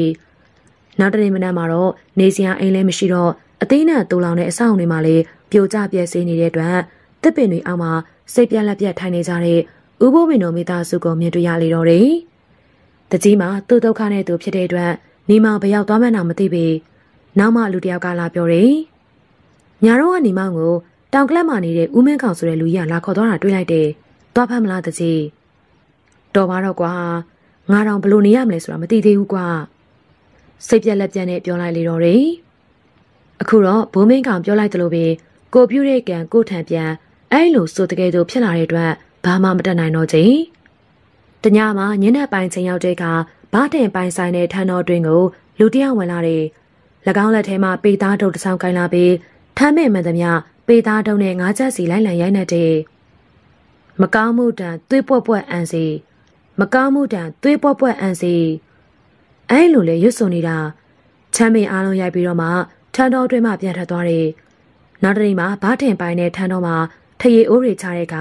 အိုးထဲမှာရှိတဲ့ထရေတွေမှာအဖြူရောင်မဟုတ်တော့ဘဲနဲ့သွေးရောင်ကဲသို့နေရနေတော့တယ်။ဟမ်ချမ်းပင်ဟာချမ်းတွေဘလို့ဖြစ်ပြီးတော့နေရနေရလဲ။ အဲဒီနေရာချတဲ့ထမ်းရည်တွေမှာဘလို့မှအတုံးပြုလို့မရတဲ့အတွက်တွန်ပြက်လိုက်ရလေတော့တယ်။ဥစားပေါ်ပိုင်းတဲ့ထန်းတော်နဲ့ဘားတဲ့ပိုင်းတဲ့ထန်းတော်မှာကရက်ဟိုဘက်ကထန်းတော်မှာဘာမှထိုးထိုးကြကြမဖြစ်ဘဲနဲ့သူ့ရဲ့ထန်းတော်မှာထမ်းမင်းတွေတဖြည်းဖြည်းပြက်စီးလာတာကိုမြင်တဲ့ကများစွာထိတ်လန့်တုန်လုံးမိတဲ့များမကြမီမှာပဲအဲ့ဒီထန်းတော်မှာရှိတဲ့ထမ်းမင်းတွေမှာညှိုးနှွမ်းလာပြီးတော့ထရေမထွက်တော့ပြီ။ဘားထဲမှာနောက်ဆုံးမတက်တာတော့တဲ့အတွက်ထန်းတော်တွေကိုရောင်းချရန်ပြင်ဆင်နေ။သို့တော်လေ ထနို့ရေမထွက်ဖ ೇನೆ သွေးကဲသောအရေးတွေထက်နေတဲ့ပြင်ထမ်းပင်တွေကလည်းညှိုးချောင်စာပြုတ်နေပြီဖြစ်လို့ဘသူမှမဝေဘူးကြတော့ပြီ။တနေ့တော့အဲ့ဒီထန်းတော်ဥပန်ကောင်းကရောက်လာတယ်။မင်းထန်းတော်ရောက်မယ်လို့တရင်ကြလို့လာမိတာ။ထမ်းပင်တွေကလည်းညှိုးနေပါလား။ဒီတိုင်းဆိုရင်မကြခင်တေကုံတော့မှာပဲ။မင်းထန်းတော်ဘယ်လောက်နဲ့ရောက်မလဲ။ဘားထင်ကလည်းဆက်ထားသမျှအားလုံးသိမဲတူတူဝဲမဲသူရှိတော့တင့်တော်တဲ့ဈေးနဲ့ရောင်းချလိုက်တဲ့ဥပန်ကောင်းကလည်းအဲ့ဒီထန်းတော်ကိုဝယ်ယူပြီးတဲ့အခါ ဝရင်တုတ်တစ်ချောင်းနဲ့ထမ်းမဲမှန်သမျှလေးချက်စီလိုက်ရိုက်တဲ့ဥပန်ကောင်းကလည်းအဲ့ဒီထန်းတော်တွေကိုဝယ်ယူပြီးတဲ့အခါဝရင်တုတ်တစ်ချောင်းနဲ့ထမ်းမဲမှန်သမျှလေးချက်စီလိုက်ပြီးတော့ရိုက်လေတော့တယ်ဥပန်ကောင်းကလည်းအဲ့ဒီထန်းတော်ကိုဝယ်ယူပြီးတဲ့အခါဝရင်တုတ်တစ်ချောင်းနဲ့ထမ်းမဲမှန်သမျှလေးချက်စီလိုက်ရိုက်လိုက်လေတော့တယ်မကောင်းဆိုးရတဲ့မှန်သမျှကိုနေရာကိုပြန်ကြဟာကိုနေရာကိုပြန်ကြဟာအဲလိုရေရွတ်ပြီးတော့ဝရင်တုံနဲ့လိုက်ရိုက်ပြီးနောက်တနေ့မှာတော့ ထမ်းမဲ့ပေါ်မှာချတဲ့ထရည်တွေမှာမူလာတိုင်းအဖြူရောင်ပြန်ဖြစ်သွားလေတော့တယ်နောက်ထပ်ရန်နေငယ်ကြတဲ့အခါမှာတော့ညိုနှံ့နေတဲ့ထမ်းမဲ့တွေမှာလည်းစိမ့်စိမ့်ဆူဆူနဲ့ပြန်လည်လန်းဆန်းလာလေတော့တယ်အဲ့ဒီထန်းတော်တွေကိုဝယ်ယူပြီးတဲ့နောက်မှာထွန်းခါကိုပင်ဦးစီးလောက်ကန်ခိုင်းစီရာထွန်းခါလေးဝမ်းမြောက်ဝမ်းသာနဲ့လှုပ်တယ်နောက်ထပ်လာနေငယ်ကြတဲ့အခါမှာတော့စေတနာထမင်းဆိုင်နေရာမှာမင်္ဂလာပွဲတစ်ခုကျင်းပလေတော့တယ်။သူတို့သားကနေမှဖြစ်ပြီးသူတို့သမီးကညာနှင်းဖြူတို့ပင်ဖြစ်တဲ့ နှစ်ဖက်မိဘတွေကတင့်တင့်တဲတဲနဲ့လက်ထပ်ပေးတဲ့မင်္ဂလာပွဲဖြစ်တဲ့အတွက်ကြောင့်လေများစွာစီကားလေတော့တယ်။အဲ့ဒီနေ့တဝိုင်းမှာတော့ရွှေသုံးပိတ်တာတင်တောင်းတဲ့မင်္ဂလာပွဲဆိုတဲ့တဲ့ရင်ကဟိုလီတကြော်ကြော်ဖြစ်ခဲ့တယ်။အဲ့ဒီလိုမင်္ဂလာပွဲဖြစ်မြောက်တဲ့အတွက်ပျော်ရွှင်နေကြတဲ့သူတွေမှာနေမောင်နဲ့ညာနှင်းဖြူတို့သာဖြစ်တော့တယ်။ကျမရဲ့ရင်ထဲမှာအခုမှပဲအပူလုံးကျသွားတော့တယ်ကိုမောင်ရဲ့ကိုမောင်ရောဝမ်းမတောင်လားယင်ဘလို့မေးလိုက်တာလဲမြားလေးရဲ့ကိုချစ်တဲ့သူနဲ့ဖူးစာဆောင်ရတာပဲ ဝမ်းမတာပဲရှိပါမလားကိုလဲမြားလေးလိုပဲကိုရိုနီကမစုံစည်းရမှာတိတ်ပြီးတော့စိုးရင်တာအခုမှပဲစိတ်အေးရတော့တယ်တစ်ချက်ကိုမောင်ကိုကျမမေးစရာတခုရှိတယ်မှန်မှန်ဖြေပါလားယင်ဘာမေးမှလဲမေးလေကျမကိုတင်တောင်းတဲ့ရွှေရင်ငွေတွေကိုကိုမောင်ဘလို့ရှာဖွေလာတာလဲယင်အမှန်တိုင်းပြောရမယ်ဆိုရင်တော့ဒလောင်များတဲ့ရွှေရင်ငွေတွေကိုတို့မှမရှိဘူးအဘတို့ကရှာပေးတာဟမ်ကိုမောင်တကယ်ပြောနေရလား အမှန်ပြောတာများလေးရဲ့အခုလိုများလေးနဲ့နေဆောင်လို့အဘဆောင်ရွက်ပေးခဲ့တာတိတ်ပြီးတော့အံ့ဩဖို့ကောင်းတာပဲနော်ကျမတော့ကိုမောင်နဲ့စုံစည်းရတာပဲကျင်းနေလာပါပြီကျန်တာတွေတော့ဘာမှမလို့ကျွန်တော်ဘူးဒါပေမဲ့အဘတို့တော့ကျေးဇူးတရားမှာပေါ့ကွာကိုရိုနီကအခုလိုစုံစည်းခွင့်ရတာအဘတို့ကူညီပေးကြလို့အဲ့လိုရကြတာဆိုတော့ဒီကျေးဇူးတော့တသက်လုံးမေးလို့မရတော့ဘူးကျမလည်းကိုမောင်းလိုပါပဲလေ အဲ့လိုနဲ့နှစ်ယောက်သားပျော်ရွှင်စွာနဲ့ပြောဆိုနေကြတယ်သူတို့နှစ်ယောက်အတွက်အခက်အခဲအတားဆီးတွေကင်းဆန်သွားတဲ့ပန်းခီလန်းကိုရှောင်းလန်းခွေရသွားပြီဖြစ်လေတော့တယ်နောက်ပိုင်းမှာလည်းအဘဘုံမင်းကောင်ဟာပုတ်ပါမနေတယ်ဆိုရင်လည်းတခြားနေရာတွေကိုခရီးထွက်လို့ရှိတယ်တခါတရံမှာလည်းတပည့်တွေကလိုက်သွားတယ်တခါတရံမှာလည်းဘယ်သူမှမလိုက်ဖေနဲ့တဦးရဲထွက်သွားလိရှိလေတယ်ဒုတိယကဘာစစ်ပွဲတွေနီးလာတဲ့ချိန်ရောက်တော့မှပုတ်ပါတောင်ကိုပြန်ရောက်လာတယ်အဲလိုပြန်လာပြီးတဲ့နောက် တောင်ချီမညောင်မင်းကြီးရှိအောင်မသွားဘဲနဲ့ရွှေကူချောင်းမှာဥပန်ကောင်းတဲ့ဒူလာနေသေးတယ်ကပ္ပိယကြီးဖိုးထိုးတာအတော့ဝါသနာပါသလားဟုတ်တယ်ဗျကျွန်တော်ငယ်ကလေးကဒီလုပ်ကိုပဲလုပ်ခဲ့တာဘလောက်ထိအချိန်ကြီးရောက်နေပြီလေမိဖို့ကန်ရတဲ့အစင်မကြော်သေးပါဘူးဗျရဲ့ဟိုတလုံးကရွှေတောင်ငွေတောင်ဘက်ကရှွန်စေးတုံးတွေကိုရွှေတင်းကငွေတင်းကတွေဖြစ်အောင်အဘလုပ်တာမြင်တော့တိတ်ပြီးတော့သဘောကျတာပဲဗျ။ကောင်လေးကမိဘကျေးဇူးလည်းတည်တယ်စိတ်ထားလေးလည်းဖြူစနေ အခုလုံးမှကျုပ်တို့ကဝင်မလုပ်ပေးဘူးဆိုရင်တသက်လုံးစိတ်ဆင်းရဲကိုဆင်းရဲဖြစ်နေမှာပေါ့။အခုတော့သူတို့ပျော်ရွှင်နေကြပါပြီဗျ။ကျုပ်တို့တွေကကိုယ့်အတွက်ထက်သူတစ်ပါးအတွက်ကိုဘလို့အကူအညီပေးရမလဲလို့အမြဲကြည့်နေရတာဗျ။အဲလိုနဲ့ပဲတဖြည်းဖြည်းပါရမီဖြည့်ယူရတာပေါ့ဗျာ။ထထက်ကျုပ်ရွှေရင်ငွေတွေဖြစ်အောင်လုပ်ပြတော့ခမရမလုပ်ချင်ဘူးလားလှုပ်ချင်တာပေါ့ဘာရအဲ့လိုသာဖြင့်တိတ်ကောင်းပါပဲဓာတ်တက်ခမရရွှေရင်ငွေတွေလိုချင်လို့ဖို့ထိုးနေရလားအဲ့လိုတော့မဟုတ်ပါဘူး အဘလိုသူများတွေအတွက်အကူအညီပေးချင်လို့ပါဒီလိုလုံးရက်တွေဆိုတာလုံးယူချင်တိုင်းလည်းမရဘူးဗျအဲ့ဒါဘာကြောင့်လဲသိသလားလုံနေတဲ့အချိန်မှာလောဘစိတ်လေးကကြံနေတာတွေကိုအတားအဆီးအနောက်ရှက်တွေပေးနေလို့မရတာအဲ့ဒါကိုတော်တော်များများသတိမထားမိကြဘူးမှန်ပါတယ်ဗျစကြရလိုချင်လို့လောက်တာဆိုတော့ဘယ်ရပါတော့မလဲဝိဇာလန်းစင်ဆိုတာလိုချင်ပေမဲ့လေရချင်မှရတာမလိုချင်ပေမဲ့လေယူရတာတွေရှိတာပဲလေ ခမ ्या ဖိုထိုးနေတဲ့ရွေချက်ကရွှေငွေလိုချင်လို့ထိုးနေရလားအဲ့လိုတော့မဟုတ်ပါဘူးဗျဘဲလှုပ်ဖဲလှုပ်လှုပ်ရွေချက်ကြီးကြီးမားမားထားရတယ်ဗျလောကမှာအလျှော်တင်းဆိုတာတွေရှိတယ်ကိုကငါးမူသားမှန်းပြီးတော့လုပ်ပေမဲ့အနောက်ရှက်တွေပေါ်လာရင်တမတ်သားတော်မှရချင်မှရတာဟုတ်ပါတယ်ဗျအဲ့ဒါကြောင့်ရွေချက်ဆိုတာများများမှန်းထားရတယ်ဗျခမရငါးမူသားလာလို့ချင်ပေမဲ့တကြသားလာမှန်းပြီးတော့အလုပ်လုပ်ရတယ်အဲလိုစူးစမ်းတဲ့အခါတကြသားမရရင်တော့မှ ငါးမူသားရရမှာတည်ကြရလေဝိဇာလုပ်ငန်းတွေမှာလည်းဒီလိုပဲများများလုံးမှနည်းနည်းပဲရနိုင်တာဒီတော့တိတ်တိပေါက်လမ်းစဉ်တွေဆိုတော့အမြင့်လမ်းဆွင်တွေပေါ့ရွှေဖြစ်ငွေဖြစ်လမ်းစဉ်ဆိုတာတော့တာမန်အစ်စ်ပဲရှိသေးတယ်မှန်ပါတယ်ဗျခမားအနေနဲ့တိတ်တိပေါက်အောင်လုပ်နိုင်မယ်စူးစမ်းမယ်ဆိုရင်တော့ရွှေငွေဆိုတာလိုတလောက်ရနိုင်နေဗျကျွန်တော်သဘောပေါက်ပါပြီဗျနောက်မှတော့တခြားလုပ်တူရက်ပြီးတိတ်တိပေါက်လမ်းစဉ်တွေကိုပဲစူးစမ်းပါတော့မယ် အဲလိုကလေးပေးလိုက်ရအဘဘုံမင်းကောင်ကအကောင်းကြီးပြလေးတယ်ဥပန်ကောင်းနေနဲ့အဘရဲ့ဆုံးမစကားတွေကိုနောက်ဆုံးကြားရခြင်းဖြစ်တယ်ဆိုတာတော့အဲ့ဒီအချိန်ကမသိရှိခဲ့ရခြင်းအဘဘုံမင်းကောင်ကဘလို့အကြောင်းကြောင့်မှမသိရတော့လေရွှေကူကြောင့်တော့ရမှာဥပန်ကောင်းနဲ့ခုနှစ်ရက်ထိလာနေပြီဟာများစွာအကျိုးကျေးဇူးရလေတဲ့ခုနှစ်ရက်ပြည့်တဲ့အခါမှာတောင်ကလပ်မမူလာစခန်းချတာနေရဖြစ်တဲ့ညောင်မင်းကြီးရှိရာအောက်ကိုပြန်သွားလေတော့တယ်။ အဲ့ဒီညောင်မင်းကြီးမှာအခြေခံညောင်မင်းကြီးဖြစ်ပြီးတော့ဒေသခံတွေကရွှေညောင်ဘင်းလို့ခေါ်ကြတယ်။အဘအဲ့ဒီနေရာကိုပြန်ရောက်လာပြီးတော့နောက်ပိုင်းမှာညောင်မင်းကြီးအနီးမှာကုတ်ပြက်ပေါ်မှာထိုင်ရင်းနဲ့ထိုးကြတဲ့စကားတစ်ခုကိုပြောလိုက်တယ်။ရွှေညောင်ပင်မြပြည့်ဓာတ်ထစ်ပြီးတော့စောင့်မယ်ဟိ။အဲလိုပြောနေတော့လေညီတို့သောအတိတ်ပဲမျိုးနဲ့ပြောနေတယ်ဆိုတာတော့မသေးကြဘူး။နောက်ပိုင်းအဲ့ဒီနေရာတဝိုက်တို့ဘုံကျဲခံရပြီးတော့လူတွေတေကျေပျက်စီးအောင်မကဘဲနဲ့ နေအိမ်တွေကျောင်းဆောင်တွေပျက်စီးကြတော့မယ့်ရက်ကိုကြိုတင်ပြောနေတယ်လို့ယူဆတယ်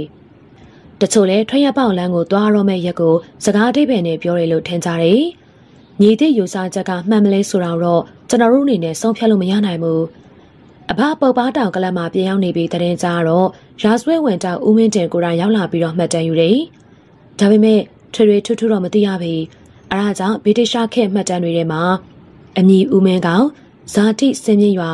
အဲလိုသာမှတ်တမ်းတင်ထားခဲ့တယ်။အဘတောင်ကလပ်မှာပြန်ရောက်တဲ့အခါကြောက်ပရောင်းမလူတွေလည်းရောက်လာကြတယ်။တခြားရဝေးရနေမှတပည့်တွေလည်းရောက်လာတယ်။အဲ့ဒီတရင်ကိုကြတော့စင်မြင့်ရွာမှာနေကြတဲ့အဘနဲ့ဆွေမျိုးသားချင်းတော်သူတွေပါလာကြတယ်။သူတို့မရောက်လာခင်မှာအဘကသူ့ရဲ့လက်မောင်းကိုပလင်းခွဲတစ်ခုနဲ့ချစ်လိုက်ရာဒဏ်ရာရပြီးတော့သွေးတွေထွက်လာတယ်။အဲလိုကဲသို့တွေးထွက်လာတဲ့အခါမှာတော့လဝါနဲ့အုပ်လိုက်ရာသွေးတိတ်သွားပြီးဒဏ်ရာလည်းပျောက်သွားတယ်။ အဲ့ဒီနေရာမှာတော့အမယုံဟောင်းတစ်ခုသာကြံရစ်ခဲ့တယ်။အဲလိုပြုလုပ်ပြီးတော့မကြမီမှာစင်မြင့်ရွာမှာလာကြတဲ့သူတွေရောက်လာတယ်။တချို့ကလည်းမနီမွေမှသူတို့ရွာမှာပျောက်သွားတဲ့ဦးမင်းကောင်ဟုတ်မဟုတ်ဒစေတစောင်းနဲ့အကဲခတ်ကြည့်နေကြလေတယ်။အဲ့ဒီအချိန်မှာရွာသူရွာသားများပါဝင်သူတို့တွေနဲ့အတူတူပါလာတဲ့အဖွားကြီးတယောက်ကအဘအနီးကိုကပ်လာပြီးတော့လက်မောင်းကိုလာကင်ကြည့်တယ်။လက်မောင်းမှာဒဏ်ကိုမြင်တဲ့အခါမှာအများကြောင်တလို့ပြောလိုက်တယ်။ ဒါကျုပ်တို့စင်မြင့်ရွာပျောက်သွားတဲ့ဦးမင်းကောင်အမှန်ပါပဲတော့သူ့လက်မောင်းကဒဏ်ရာဟောင်းကသူငယ်ငယ်ရပြောင်းမှုရိုးချစ်မိခဲ့တဲ့ဒဏ်ရာဟောင်းပါပဲသူကကျုပ်တို့ရဲ့မောင်ပါပဲတော့အဲလိုပြောရအဘကဘာမှပြန်ပြီးတော့မပြောဘဲနဲ့ပြောယုံတာပြုံးနေတယ်အဲ့ဒီကစင်မြေရွာမှာလာကြတဲ့သူတွေကဦးလေးဘာတွေဘာကြီးမောင်တူသားနောင်မယ်တော်ဆက်တယ်လို့တယောက်တစ်မျိုးဝိုင်းဝန်းပြောကြလေတော့တယ်အဲ့ဒီအခါအဘကစကားတစ်ခုပဲပြောလိုက်တယ် အားလုံးကတော့ဘသူနဲ့မဆိုဆွေမျိုးတော်ဆက်ကြတာတွေကြီးပါပဲဒါပေမဲ့စကားကိုအရင်မပြောကြနဲ့မဟုတ်ရင်ငရေကြီးလိမ့်မယ်အဲ့ဒီစကားကိုကြားတဲ့အခါမှာဆွေမျိုးလို့ဝိုင်းဝန်းဆွဆွဲနေကြတဲ့သူတွေမှာအရှိန်တန်သွားကြတော့တယ်။နောက်ပိုင်းမှာလည်းအဘဟာရွှေနောင်ပင်ချင်းသားမှသာနေပြီးတော့တခြားဘယ်မှမသွားတော့ဘူး။အဲ့လိုနေထိုင်ရင်းနဲ့ရွှေညောင်ပင်မြပြက်ဓာတ်ချက်ပြီးတော့စောင့်မယ်ဟေလို့မကြာခဏရေရွတ်ပြောဆိုညောင်ပင်ကြီးအောက်ကကုပြက်ပေါ်မှာလှဲအိတ်နေလေးရှိတယ်။ နောက်ပိုင်းတောင်ကလပ်မှရွှေညောင်ပင်ကြီးအောက်မှာအဘအမြဲရှိနေမှန်သိရတဲ့အခါရဝေးရနေမှတပည့်တွေပါအတူတကွလာရောက်နေထိုင်ကြရာတဖြည်းဖြည်းနဲ့များလာတယ်။ညောင်ပင်ကြီးနဲ့အနီးတစ်ဝိုင်းမှာပဲဇရက်လေးငါးလုံးထိတိုးပွားလာလေတော့တယ်။နောက်ပိုင်းအင်္ဂလိပ်တွေထပ်သွားပြီးတော့ဂျပန်တွေဝင်ရောက်အုပ်စိုးတဲ့အခါဂျပန်ခေတ်တစ်လျှောက်လုံးမှာအဲ့ဒီနေရာမှာပဲဆွဲဆွဲမြဲမြဲနေထိုင်နေဂျပန်ခေတ်မှာဂျပန်တွေကအမျိုးမျိုးလာရောက်နှိပ်စက်လင်တော်လကောင်တခြားလူဆိုးဓမြတွေကမကြာခဏလာရောက်နှိပ်စက်လင်တော်လကောင် တခြားဘယ်နေရာမှမသွားဘဲနဲ့အဲ့ဒီညောင်မင်းစီအောင်မှာပဲနေလေတယ်။အဲ့လိုနှိပ်စက်ခံရတဲ့ကတပည့်တွေကညှဉ်းညူတယ်။မင်းတို့ဘာမှစိတ်မညစ်ကြနဲ့ဝစ်ကျွေးရှိရင်လည်းခံရမှာပဲ။ကန်ကျွေးရှိရင်လည်းခံရမှာပဲ။ဝစ်ကျွေးရှိလို့ခံရတယ်လို့သာမှတ်ကြပြီးတော့ဟိ။နောက်ပိုင်းအင်္ဂလိပ်တွေတကြောပြန်ဝင်လာတဲ့ကပုတ်ပါတောင်တဝိုင်းမှာဂျပန်တပ်တွေခိုအောင်နေတဲ့ထင်တဲ့အတွက်အင်္ဂလိပ်တပ်ကနေ့စဉ်မပြတ်မီးလောင်ပုံတွေလာရောက်ကျဲချတယ်။အဲဒါကြောင့်တောင်ကလတ်ထိန်နဲ့အဲ့ဒီပတ်ဝန်းကျင်မှာရှိတဲ့အဆောက်အုံတွေ ရွှေကူကျောင်းတဝိုက်မှာရှိတဲ့ကျောင်းတွေဇရက်တွေအစာအုပ်တွေကမီးလောင်ပျက်စီးကြရတယ်။တချို့လည်းတိတ်ဆိတ်ပျက်စီးခဲ့တဲ့အဲလိုနေစင်မပြတ်လေရင်ပြန်တွေရောက်လာပြီးတော့ဘုံကျဲတဲ့ဒဏ်တွေကြောင့်တောင်ကလပ်ပတ်ဝန်းကျင်တဝိုက်မှာအဆောက်အုံတွေပျက်စီးကြတော့လေအဘနေထိုင်တဲ့ရွှေညောင်ပင်ကြီးတဝိုက်ကိုတော့ဘုံတလုံးမှမကြတဲ့အတွက်အပျက်စီးမရှိပြီ။အဲဒါကြောင့်နောက်ပိုင်းမှာတော့လေရင်ပြန်တွေလာတန်းကြရင်တော့အဲ့ဒီနေရာတဝိုင်းမှာနေကြတဲ့သူတွေမှာအဘနေတဲ့ရွှေညောင်ပင်ကြီးအောက်ကိုလာရောက်ဘုံခိုကြရလေတော့တယ်။ လူတွေသာမကပဲနဲ့ခွေးတောင်မှလေရင်ပြန်တန်ကြားပြီဆိုတော့အဘထိုင်လေးရှိတဲ့ကိုပြစ်အောက်မှာလာရောက်ပြီးတော့စိုးကြတယ်။အဲလိုကဲတော့လေရင်ပြန်တွေနေဆက်လာရောက်ပုံကျဲကြတော့လေအဘကတော့ကိုပြစ်ပေါ်မှာထိုင်လက်သားနဲ့လက်ဖေးချမ်းတောင်းနေတက်လေတယ်။လေရင်ပြန်တွေကတပ်ပင်ထိပ်ဖျားမှလွတ်ယုံနေနေပြန်ဝဲလာကြရာအဘအမောကြည့်ပြီးတော့အလကားငှက်ကြတွေပါကွာ။အဲလိုရေရွပြောဆိုတယ်သူပြောတဲ့အတိုင်းပဲအဲ့ဒီနေရာမှာဖြတ်မောင်းသွားကြတဲ့လေရင်ပြန်တွေမှာ တခြားနေရာတွေကိုသာအန်ဒီပေးနိုင်တော့လေရွှေညောင်ပင်ကြီးအနည်းကိုတော့အန်ဒီမပေးနိုင်ကြပြီ။ဒီနေ့တော့အပေါ်မှာဘုံကျဲချတဲ့မီးလောင်ဘုံတစ်လုံးမှမပေါက်ကွဲသေးပဲနဲ့အဲ့ဒီနေရာကိုရောက်လာတယ်။အဘအမြင်တဲ့အခါဒီထင်းတော့တောင်းရအောင်သာတိုးချပလိုက်ကြပါကွယ်။အဲ့လိုပြောရတပည့်တွေကလည်းကြောက်ကြောက်လန့်လန့်နဲ့မပေါက်ကွဲသေးတဲ့ဘုံကိုယူတောင်းကိုရအောင်လို့လှည့်ချလိုက်တယ်။ စစ်ပွဲကာလတခြားလုံးတခြားနေရာတွေမှာသာပျက်စီးသွားတော့လေအဘဘိုးမင်းကောင်ရှိတဲ့ရွှေညောင်ပင်စီတဝိုင်းမှာတော့ဘေးရန်နေရမရှိဘဲနဲ့အေဂျင့်စွာရှင်နေခဲ့လေတယ်။နောက်ပိုင်းမှာလည်းအဘဟာအဲ့ဒီတောင်ကလပ်တဝိုင်းမှာပဲဆက်လက်နေထိုင်ခဲ့တယ်။အဲလိုနေထိုင်ရင်းမှာပဲတောင်ကျေတဝိုင်းမှာနေထိုင်ကြတဲ့သူတွေကိုကုညီဆောင်ရှောက်ပေးခဲ့လေတယ်။စပေးစဒန်တွေအနေငယ်အေးသွားတဲ့အခါမှာတောင်ကလပ်မှာရှိတဲ့အဘရှိယာနေရာကိုရဝေးမဧည့်သည်တွေရောက်လာကြပြန်လေရာ အဲ့ဒီတောင်ကြီးတစ်ဝိုင်းမှာနေထိုင်ကြတဲ့သူတွေကဒိုင်ခံချက်ပြုတ်ကျွေးမွေးကြလေတယ်။ဒီနေ့တော့အဲ့လိုချက်ပြုတ်ကျွေးမွေးနေတဲ့အိမ်မကလေးတယောက်အပူဝမ်းတွေသွားနေပြီးတော့ကိုပူကလည်းပြင်းနေတယ်။ကလေးမဝမ်းတွေအဆက်မပြတ်သွားနေရပြင်းရတော့မဲ့အနေထောင်ရောက်နေပြီ။စစ်ဘေးစစ်တမ်းတွေခံရတဲ့ချိန်မို့ဇရာလည်းမရှိစေဝါလည်းမရှိတဲ့အတွက်အခက်ကြုံနေရတယ်။အဲဒါကြောင့်ဖခင်ဖြစ်တဲ့သူကကလေးကိုပွေ့ချသွားပြီးအဘရှိရာညောင်ပင်ကိုရအောင်သွားတယ်။အဘရဲ့ကလေးတက်ကိုကယ်ပေးပါအောင်ဗျာ။ အဲလိုပြောရကလေးကိုယူပြီးတော့ပတ်ထားတဲ့ဆောင်ကိုခွာချလိုက်တယ်။ပြီးရင်နောက်ကလေးရဲ့စအိုးတွေကိုမြေမုံနေနဲ့တိတ်ထိလိုက်ရာဝမ်းသားနေခြင်းရသားတယ်။အဘကကလေးကိုပွေးချထားပြီးတော့ပုတ်ပါတောင်ရဲ့အနောက်မြောက်ရာဟုတောင်ဘက်ကိုလှည့်ပြီးတော့အော်ပြောလိုက်တယ်။ဒီနေရာမှာကလေးမသားမရှိဘူးဟေ့။အဲလိုတခွန်းနဲ့អော်လိုက်ရာဝမ်းသွားခြင်းလည်းရက်ကိုပူလဲကျသွားပြီးတော့ကလေးမနေကောင်းသွားလေတော့တယ်။ကလေးကိုငါနေပဲထားခဲ့အောင်။ဟင်ဘသူထိမ့်ပေးမှလဲဖ။ သူ့ကိုထိမ့်မဲ့သူရောက်လာလိမ့်မယ်။အဲလိုပြောပြီးတဲ့နောက်တောင်ပေါ်မှာမြောင်းမကြီးတကောင်ဆန်းလာပြီးကလေးကိုအဖော်လုပ်ပြီးတော့ထိန်ချောင်းပေးတော့တယ်။အဲ့ဒီကလေးရဲ့အမိမှာမောင်ဆန်ဖေးဆိုသူဖြစ်ပြီးတော့အဘထွက်ရလန်မြန်းကန်နေချိန်မှာ၎င်းအတွက်အလဲမထတ်ချန်ကွဲနေတဲ့လက်ဖက်ရည်ပကံကိုတကြိုးနဲ့ပြန်ဆွဲထားတဲ့ပကံလုံးပါဝင်တခြားမတ်တရပစ္စည်းတော်တော်များများကိုပေးထားခဲ့လေတော့တယ်။ အဘဘုံမင်းကောင်ဟာတောင်ကလပ်အောက်ခြေမှာရှိတဲ့ရွှေညောင်ပင်ကြီးအောက်မှာဆိုရင်တော့14နှစ်တိုင်အောင်လို့နေထိုင်သွားခဲ့လေတော့တယ်။ဝိဇာလောကမှာဘိုးမင်းကောင်အောင်မင်းကောင်အစရှိတဲ့အမည်နဲ့ကြော်ကြားခဲ့တဲ့အဘဟာ1300ပြည့်နှစ်မှာတောင်ကလပ်ကိုရောက်လာခဲ့တယ်။အဘဟာ1942ခုနှစ်မှာဖွားမြင်သူဖြစ်တဲ့အတွက်1300ပြည့်တောင်ကလပ်ကိုရောက်တဲ့ချိန်မှာအသက်က58နှစ်ပဲရှိသေးတယ်။ တောင်ကလပ်မှာ1300ပြည့်နောက်ပိုင်းစစ်ဘေးစစ်ဒဏ်တွေပြင်းထန်တဲ့အချိန်ကာလတစ်လျှောက်လုံး14နှစ်တောင်လို့တောင်ကလပ်မှာပဲအမြင်နေထိုင်သွားခဲ့တယ်။သူထွက်ရလန်သွားကန်တဲ့အခါမှာတပည့်တွေကိုထိုးကြတဲ့စကားတွေမှားကြတယ်။အထက်ကိုကြီးပဲတိတ်ပြီးတော့မျှော်မနေကြနဲ့။အောက်ဟာကိုလည်းလုံခြုံအောင်လုပ်ကြ။တောက်တဲ့လို့မအော်နဲ့မသေးုံစားမအားယုံမဲနေကြအဘခဏသွားအောင်မေတနေ့တော့ပြန်လာခဲ့မေ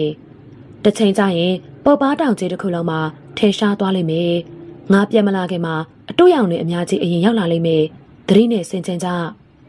ကိုယ်တို့တရားများများမလုပ်နိုင်တော့မှကိုကျင်တရားကောင်းမှုတော့စူးစမ်းကြ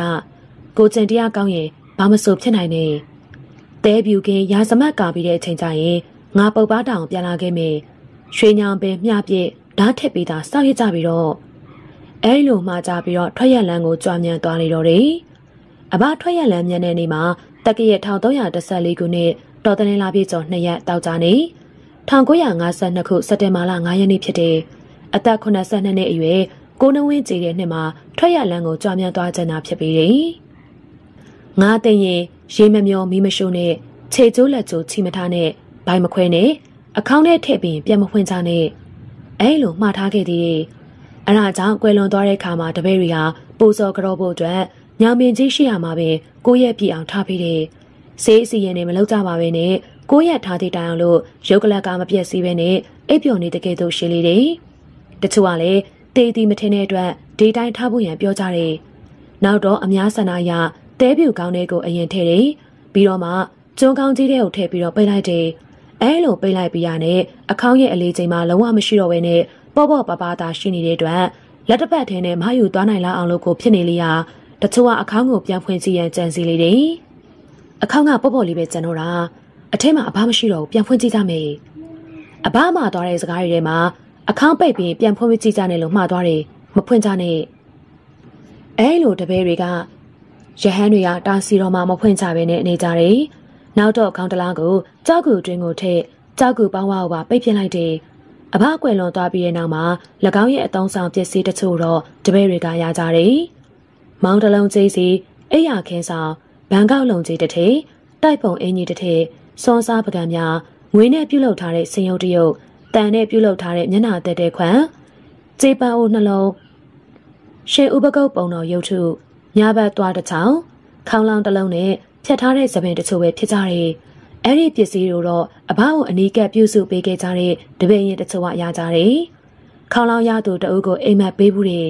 ။ခေါင်းလောင်းဘယ်တော့မှမတီးနဲ့ ငါပြန်လာရင်သူ့လိုလိုအတန်မြည်လာလိမ့်မယ်။အဲလိုမှားတဲ့အတွက်ဒီတိုင်းသိမ်းထားရတယ်။ရွှေနောင်မြေမှပြစ်ဓာတ်ချက်ပြီးတော့စောင့်နေကြလို့မှားခဲ့တဲ့အတွက်အဘနေသွားခဲ့တဲ့ရွှေညောင်ပင်ကြီးမှာစောင့်သူဟာစောင့်ကြတယ်။ပုပ်ပါတောင်ကလမ်းမှာအဋိဌံဝင်ရင်နဲ့စောင့်သူစောင့်ကြတယ်။အားလုံးစိတ်ထဲမှာတော့တနေ့နေ့တစ်ချိန်ချိန်မှာတနေရာမှအဘဘုံမင်းကောင်ပြန်လာလိမ့်မယ်လို့အားလုံးကမျှော်လင့်လျက်ရှင်နေလေတော့တယ်။အဘနေသွားခဲ့တဲ့ရွှေညောင်ပင်ကြီးနဲ့အဘရုပ်ကလပ်မြုပ်ထားတဲ့ကြောက်ကူနေရာကို လာစင်လာတိုင်းလိုလိုပဲဇနီးမောင်နဲ့နှစ်ဦးတို့ရောက်လာပြီးတော့ပူဇော်ကြောလေးရှိတယ်။တခြားသူတော့မဟုတ်ပေ။နီမောင်နဲ့မြာနှင်းဖြူတို့ဇနီးမောင်နှံတို့သာဖြစ်ကြတယ်။အဘဘုံမင်းကောင်ကသူတို့နှစ်ယောက်ဘဝအတွက်ကျေးဇူးရှင်လည်းဟုတ်တယ်လို့ကဲတင်ရှင်လည်းဖြစ်ပြီးတယ်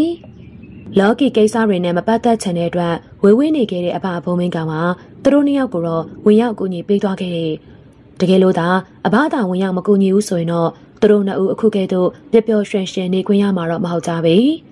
နီမောင်နဲ့ညာနေဖြူတို့မှလက်ထပ်ပြီးတဲ့နောက်ညာနေဖြူကိုကြောင်ရှာရောရွာကိုခေါ်သွားတယ်။နီမောင်မိဘတွေကလည်းတမီမင်းကလေးမရှိတဲ့အတွက်တမီရင်လို့ချက်ကြတယ်။ညာနေဖြူမရှိတော့တဲ့နောက်ပိုင်းမှာစေတနာထမင်းဆိုင်ကိုညာနေဖြူရဲမောင်ငယ်မောင်လာကပင်ဆက်လက်လောက်ကိုင်းနေထုံခါတော့လင်မယားကတော့ထန်းတော်တွေအမွေရတဲ့အတွက်ထန်းတော်ထဲမှာပဲပျော်ရွှင်စွာနဲ့နေထိုင်သွားကြလေတော့တယ်။ နေမောင်နဲ့မြာနေဖြူကတော့ကြောင်ရှာတော့မှနေတော့လေတလားတစ်ခေါက်တော့ပုပ်ပါတလောင်ကလပ်ကိုလာပြီးတော့အဘရဲ့ရုပ်ကလပ်ထားတဲ့ကြောက်ကူကိုကြောကြတယ်။ကိုဘွားအတွက်တော့အဘဟာတကယ်ကိုကျေးဇူးရှင်တူပဲအဘကူညီပေးခဲ့လို့သာညာလေးနဲ့အခုလိုအတူတူနေခွင့်ရခဲ့ကြတာလေ။ကျမလည်းစိတ်ထဲကကျေးဇူးတင်ပါတယ်။ဘာပဲဖြစ်ဖြစ်ကိုမောင်နဲ့နီးစအောင်ကူညီပေးခဲ့တာတခုနဲ့တည်းမိဘတအုပ်လို့ကျေးဇူးဆက်ကြရမှာပဲလေအဘကိုကျေးဇူးဆက်ချင်နေဆိုရင်တော့အဘမှာထားခဲ့တဲ့စကားအတိုင်းတီလာအောင်လုံးကြုံအောင်လုပ် ကိုကျင်တရားကောက်အောင်စူးစမ်းမှာပေါ့ကွယ်ကျေးဇူးရှင်အဘတယောက်မတ်ဖို့နိဗ္ဗာန်လောက်အရောက်လှမ်းနိုင်ပါစေအဲလိုဆူတောင်းမြတ်တာပို့လိုက်ကြလေတော့တယ်ပုပ်ပါတောင်ကလန်မှာတော့အဘမှာခဲ့တဲ့စကားအတိုင်းရွှေညောင်ပဲမြဒီကနေ့ရဲ့ Ghost Story ဝါချန်နယ်ကနေထောင်းလဲတင်ဆက်ပေးခဲ့တာကစာရေးသူတရိစက်ကရေးသားထားတဲ့တုံးကသေးတုံးကထွက်မဲ့သူဆိုတဲ့စိတ်ဝင်စားဖွယ်ဇာတ်လမ်းစာဆုံးကိုထောင်းလဲတင်ဆက်ပေးခဲ့တာပါ နောက်တစ်ခေါက်တွေမှာဆိုရင်လေပရိသတ်တွေကြားနဲ့သက်စီမဲ့စိတ်ဝင်စားဖွယ်ဇာတ်လမ်းအကြောင်းအရာတွေကိုဆက်လက်ရွေးချယ်ထောင်းလဲတင်ဆက်ပေးမှဖြစ်တဲ့အတွက်စောင့်မျှော်ကြည့်ရှုအားပေးချစ်ခင်ကြပါအောင်လို့ပြောကြရင်းနဲ့ဒီကနေ့စီစဉ်နေနှုတ်ဆက်ပါရယ်ချစ်ခင်ပေးလို့ကျေးဇူးပါရှင်